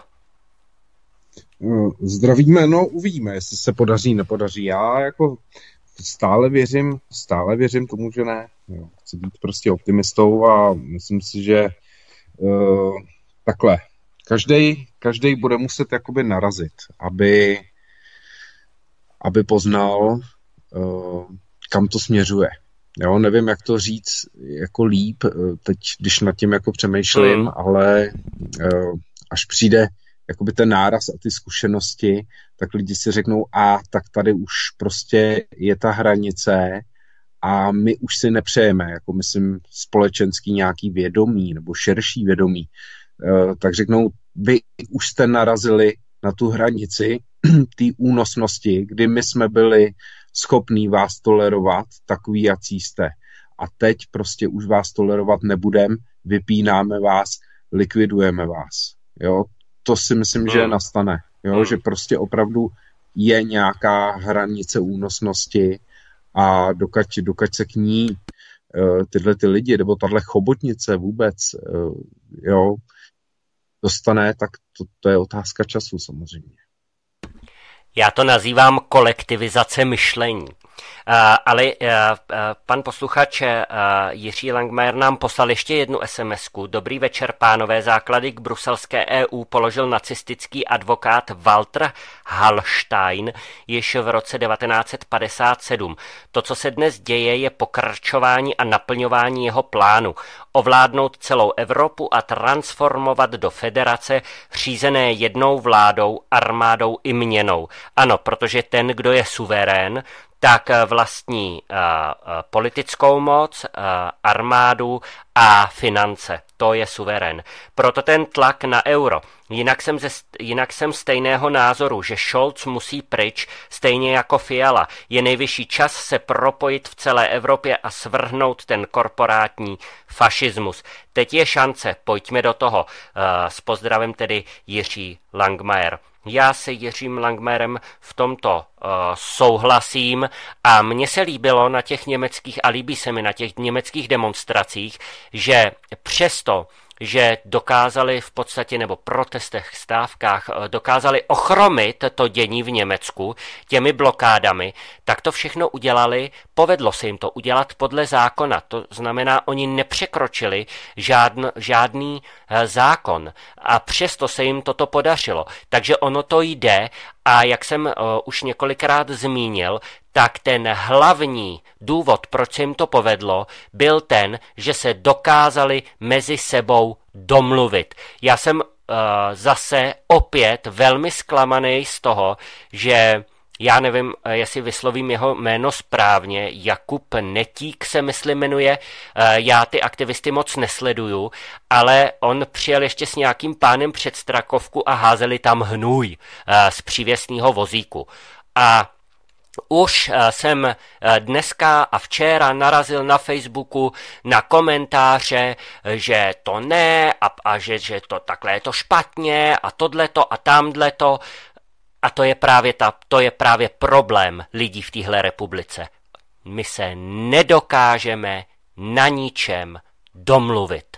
Takže bohužel. Jirko, jestli to chceš ještě nějak se k tomu vyjádřit?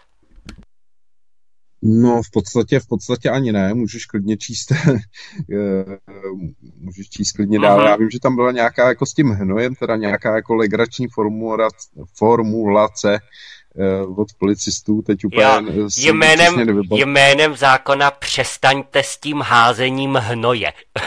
jo, jo, jo. jo. to, je, to je zajímavé, protože jo. zrovna vláda jakoby na nás hází hnoj jako celý, eh, celý své funkční období, jo, což ano, je ano což je docela jakoby sranda, že jednou jim to někdo vrátí uh, s plnou parádou, ale když, když bych o tom měl trošku něco mluvit, tak vem si, vem si jakým způsobem probíhají demonstrace v Bruselu nebo kdekoliv jinde, tam prostě přivezou močůvku, teď to tam prostě uh, pocákají a tohleto, aby vyjádřili nějakým způsobem svoji nespokojenost u nás eh, je s tím samozřejmě velký problém, protože my přece jsme ty eh, nejhodnější a nejnekonfliktnější a a já nevím co všechno a nejpořádnější a nejčistější. A, a jo, nejuvědomělejší, prostě, nejuvědomělejší. Jo, nejuvědomělejší, přesně tak, to, co je běžně jakoby standardem ve světě, tak u nás je v podstatě extrém. Jo, jo, ano. a tahle vláda, že jo, na tom v podstatě získává body. Jo, říká, tady to jsou extrémisti. Jo, jo. Jo, to, co běžně, běžně se mluví, to, co běžně funguje ve světě, tak tady řeknou, no tak to jsou extrémisti, toho si lidi nevšímejte. A jestli si toho budete všímat, tak budete taky extrémisti jako oni. jo, prostě. jo. jo, je, no. to, je to prostě na, náš naturel takový. Jo. Hele, jestli uh, mě to, uh, jestli to někoho potěší, tak ať se mě extremistou nazývá, jo, mě osobně, mě to je úplně jedno. Mimochodem, já jsem teď projížděl Google a když jsem tam zadal své jméno, tak tam zase na mě vyběhl nějaký článek od Cempra na manipulátorech.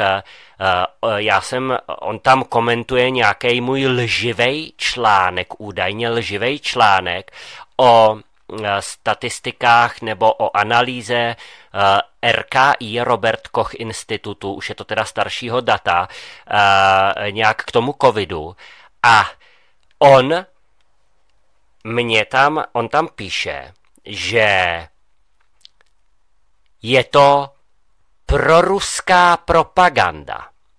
Prostě tenhle ten člověk už se asi musel definitivně úplně zbláznit, protože RKI, Robert Koch Institut, je institut německý. A pokud napíšu článek, který se odkazuje na data tohoto německého institutu, tak prosím pěkně, jak s tím souvisí Rusko pro boha. jo, takže jako proto mě už to... Ano, proto hmm. mě už to nevadí, protože oni už používají takový nesmysly, který prostě, kterým, kterým se člověk musí uh, smát. A proč to říkám? Protože Němci už na nálepkování přestali úplně slyšet. Úplně. Drtivá většina. Už je jim to jedno. Jo? Je jim to jedno.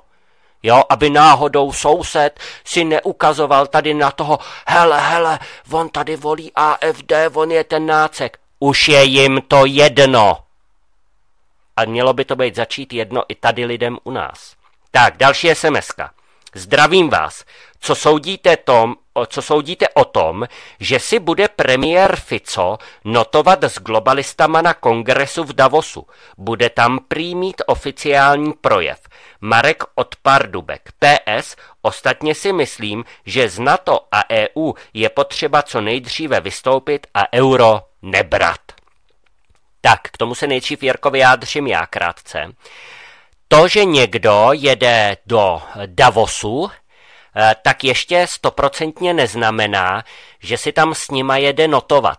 My jsme to viděli právě na příkladu eh, Javiera Milej, Milejho, eh, nového argentinského prezidenta, který jim prostě tak jako napřímo řekl, že cesta komunismu, socialismu a kolektivizace opravdu není ta správná cesta. Uh, takže to za prvé. A za druhé, já si samozřejmě, já děkuji za tuhle tu zprávu, uh, protože já jsem nevěděl, že tam Fico jede, ale budu si na to dávat pozor, protože mě bude velice zajímat, s jakým projevem tam Fico pojede. A já se domnívám a předpokládám, že zrovna slova chvály Eh, zrovna od Fica tam globalisti neuslyší. Ale uvidíme, je to jenom můj takovej spíše pocit. No a co se týče, že z NATO a EU je potřeba co nejdříve vystoupit a euro nebrat, to je můj konzistentní názor, který trvá už mnoho, mnoho let, takže uh, já s tím jenom souhlasím. Tak a teď nechám Jirku, aby to okomentoval. tak to bude taky uh, rychlý. jestli, jestli Evropská unie, jestli na to, hm, jo, asi, asi jako u doktora, jo, musíme si zhodnotit, jestli pozitiva uh, jsou přínosnější než uh, vzniklý negativa. Jo, a to, asi, to ať si každý jakoby hrábne nebo sáhne do paměti a podívá se zpětně, jestli přišlo víc toho negativního než toho pozitivního a tam se skrývá vlastně odpověď pro něj. Jo, já nikomu odpověď dávat nebudu, každý nechcí najde v sobě, protože to je jakoby to nejdůležitější, aby lidi sami v sobě zjistili a sami se v podstatě přesvědčili, jestli tomu věří nebo tomu nevěří, protože nic jiného v podstatě jakoby asi udělat ani nejde. Hmm, hmm. Máme tady další. A mm. část jo, povídej. nějak za, zapomněl. Jo, uh, počkej, tak já ti připomenu. Uh, uh, jo, t- tam se to týkalo toho Fica, co soudíme o tom, že jede do Davosu. Jo, jo, jo. Hmm. jo kdo, tam, kdo tam jezdí, no tak to je naprosto jednoduchý. Že? Oni pozvou každýho. Jo, hmm. akorát, že pak eh, jako do každé sekty prostě pozvou každýho, představí se mu, ukážou mu to, řeknou takhle je to úžasný, takhle tady fungujeme, no a když nedej bože se bude ptát na něco, na co nechtějí, aby se ptali, tak ho příště nepozvou. Jo, takže to si myslím, že se stane třeba i zrovna konkrétně argentinskému prezidentovi, že už tam fakt třeba jako pozvaný být nemusí, zapomenou hmm, na něj hmm, takzvaně. Hmm. Jo, zmizí. Tak, hmm. jo tak Rusové například už tam taky nejezdí, že jo? Taky tam jezdili a taky už tam nejezdí. No, takže to je. Zmizeli. No. no. Z Davosu. no ještě z Davosu, ale ano. oni zmizí ze všeho, že jo, když je potřeba. Je to přesně tak. Tak a teď tady máme jeden velice zajímavý dotaz. Proč to nejde jako v Německu? Nemá na tom svůj podíl také práce opozice? Ptá se Standa z Plzně. Jirko, co si myslíš? To nejde u nás protestama jako v Německu. Hm. An, ano. Hm. Těžko říct, no. Asi možná horší organizace než v Německu. E, možná trošku taková naivita větší u nás než třeba v Německu, že tam už prostě ztrácej e, tu iluzi. U nás se furt věří tomu, že se něco spraví, někdo něco zlepší a především udělá to ten druhý a nikdy to neudělám já sám. Jo, typický, typický pro nás, jo, typický pro nás jako pro Čechy. Jo, počkáme, až někdo to udělá, počkáme, až oni to vyřeší a pak teprve se přidáme, jo, čekáme na tu vhodnou chvíli, jo, ale to můžeme čekat na tu vhodnou chvíli uh, v podstatě celý život, jo, a, jo, a to bych řekl, že eh, je trošku naše i prokletí jako Čechů, jo? proto jakoby nic většinou se nevyvolává samo přímo e, ze spoda, jako od občanů, ale vždycky je to nějaký důsledek e, něčeho jiného. Jo? Je to prostě výsledek toho. No, já bych tu viděl ještě jednu takovou věc, která mě teda napadla.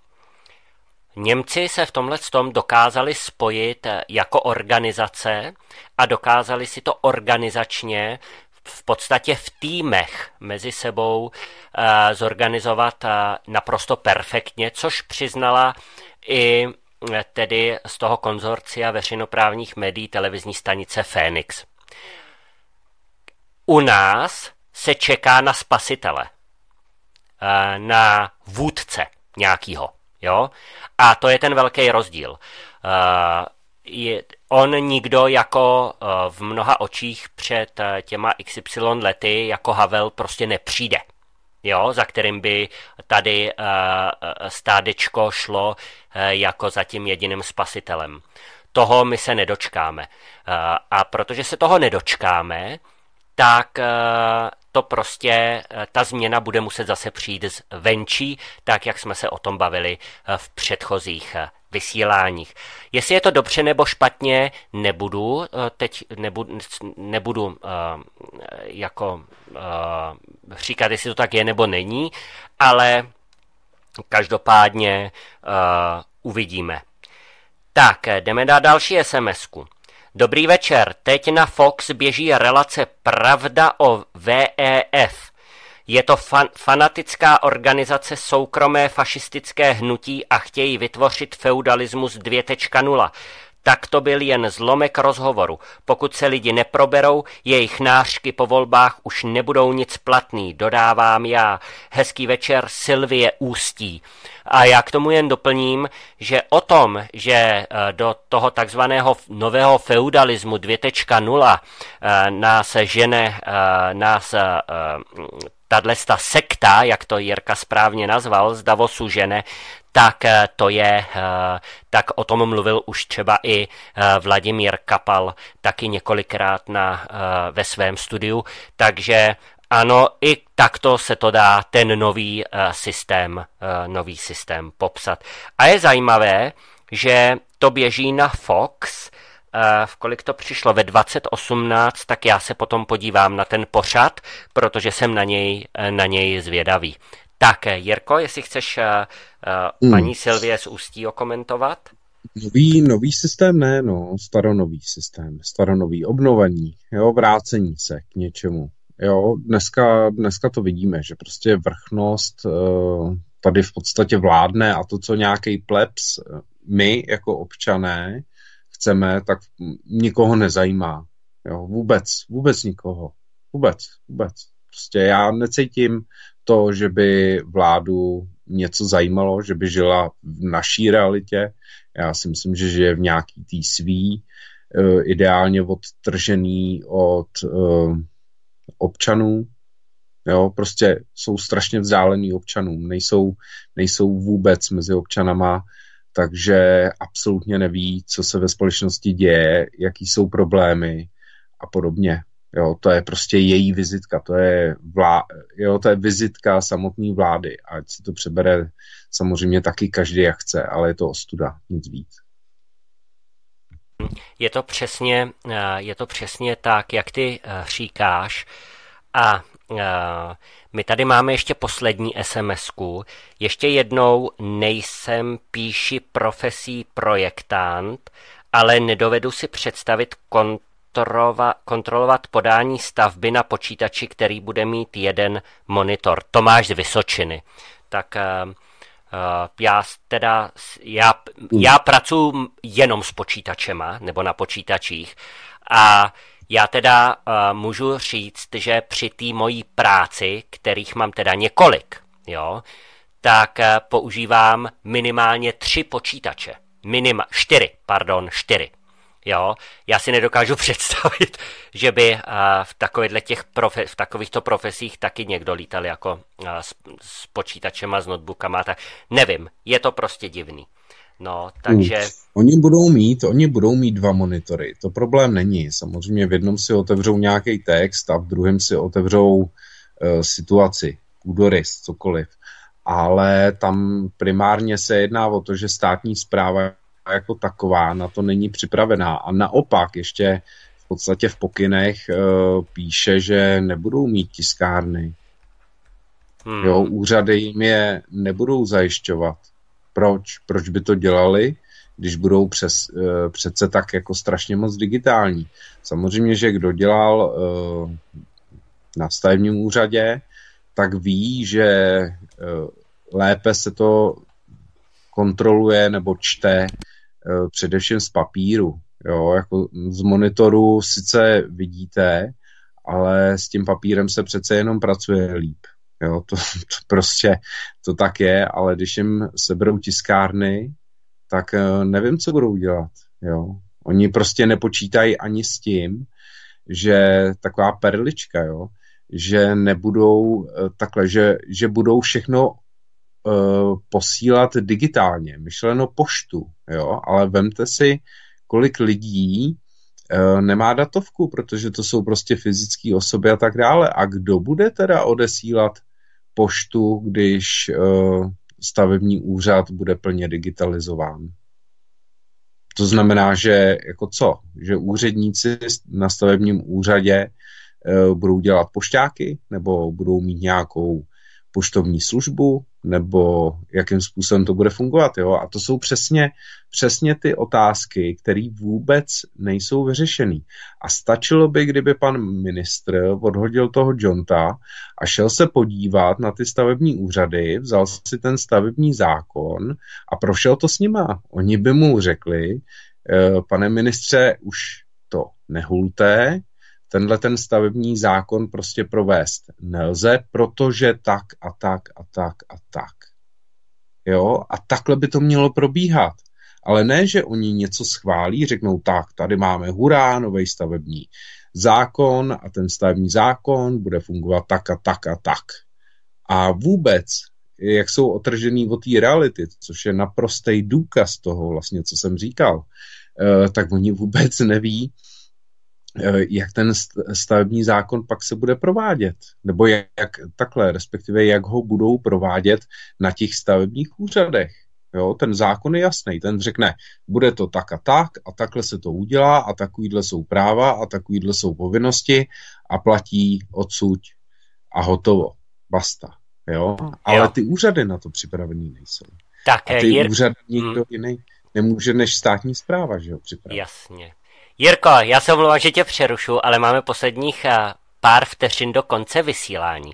Takže já chci vám, vážení a milí posluchači, dneska poděkovat za vaše telefonáty, za vaše SMSky a za to, že jste eh, s námi ty dvě hodinky byli. Jirko, tobě taky moc děkuju za vysílání a budu se příště těšit na slyšenou. Já moc taky děkuji za pozvání, přeju našim posluchačům a samozřejmě tobě i do studia hezký a klidný večer, no a krásný a úžasný víkend samozřejmě. Mějte tak, se hezky. Díky Jirko a, a s vámi se, vážení a milí posluchači, budu těšit opět ve středu při pravidelných zprávách, aktuálních zprávách, zejména ze zahraničí, tedy Geopolitan.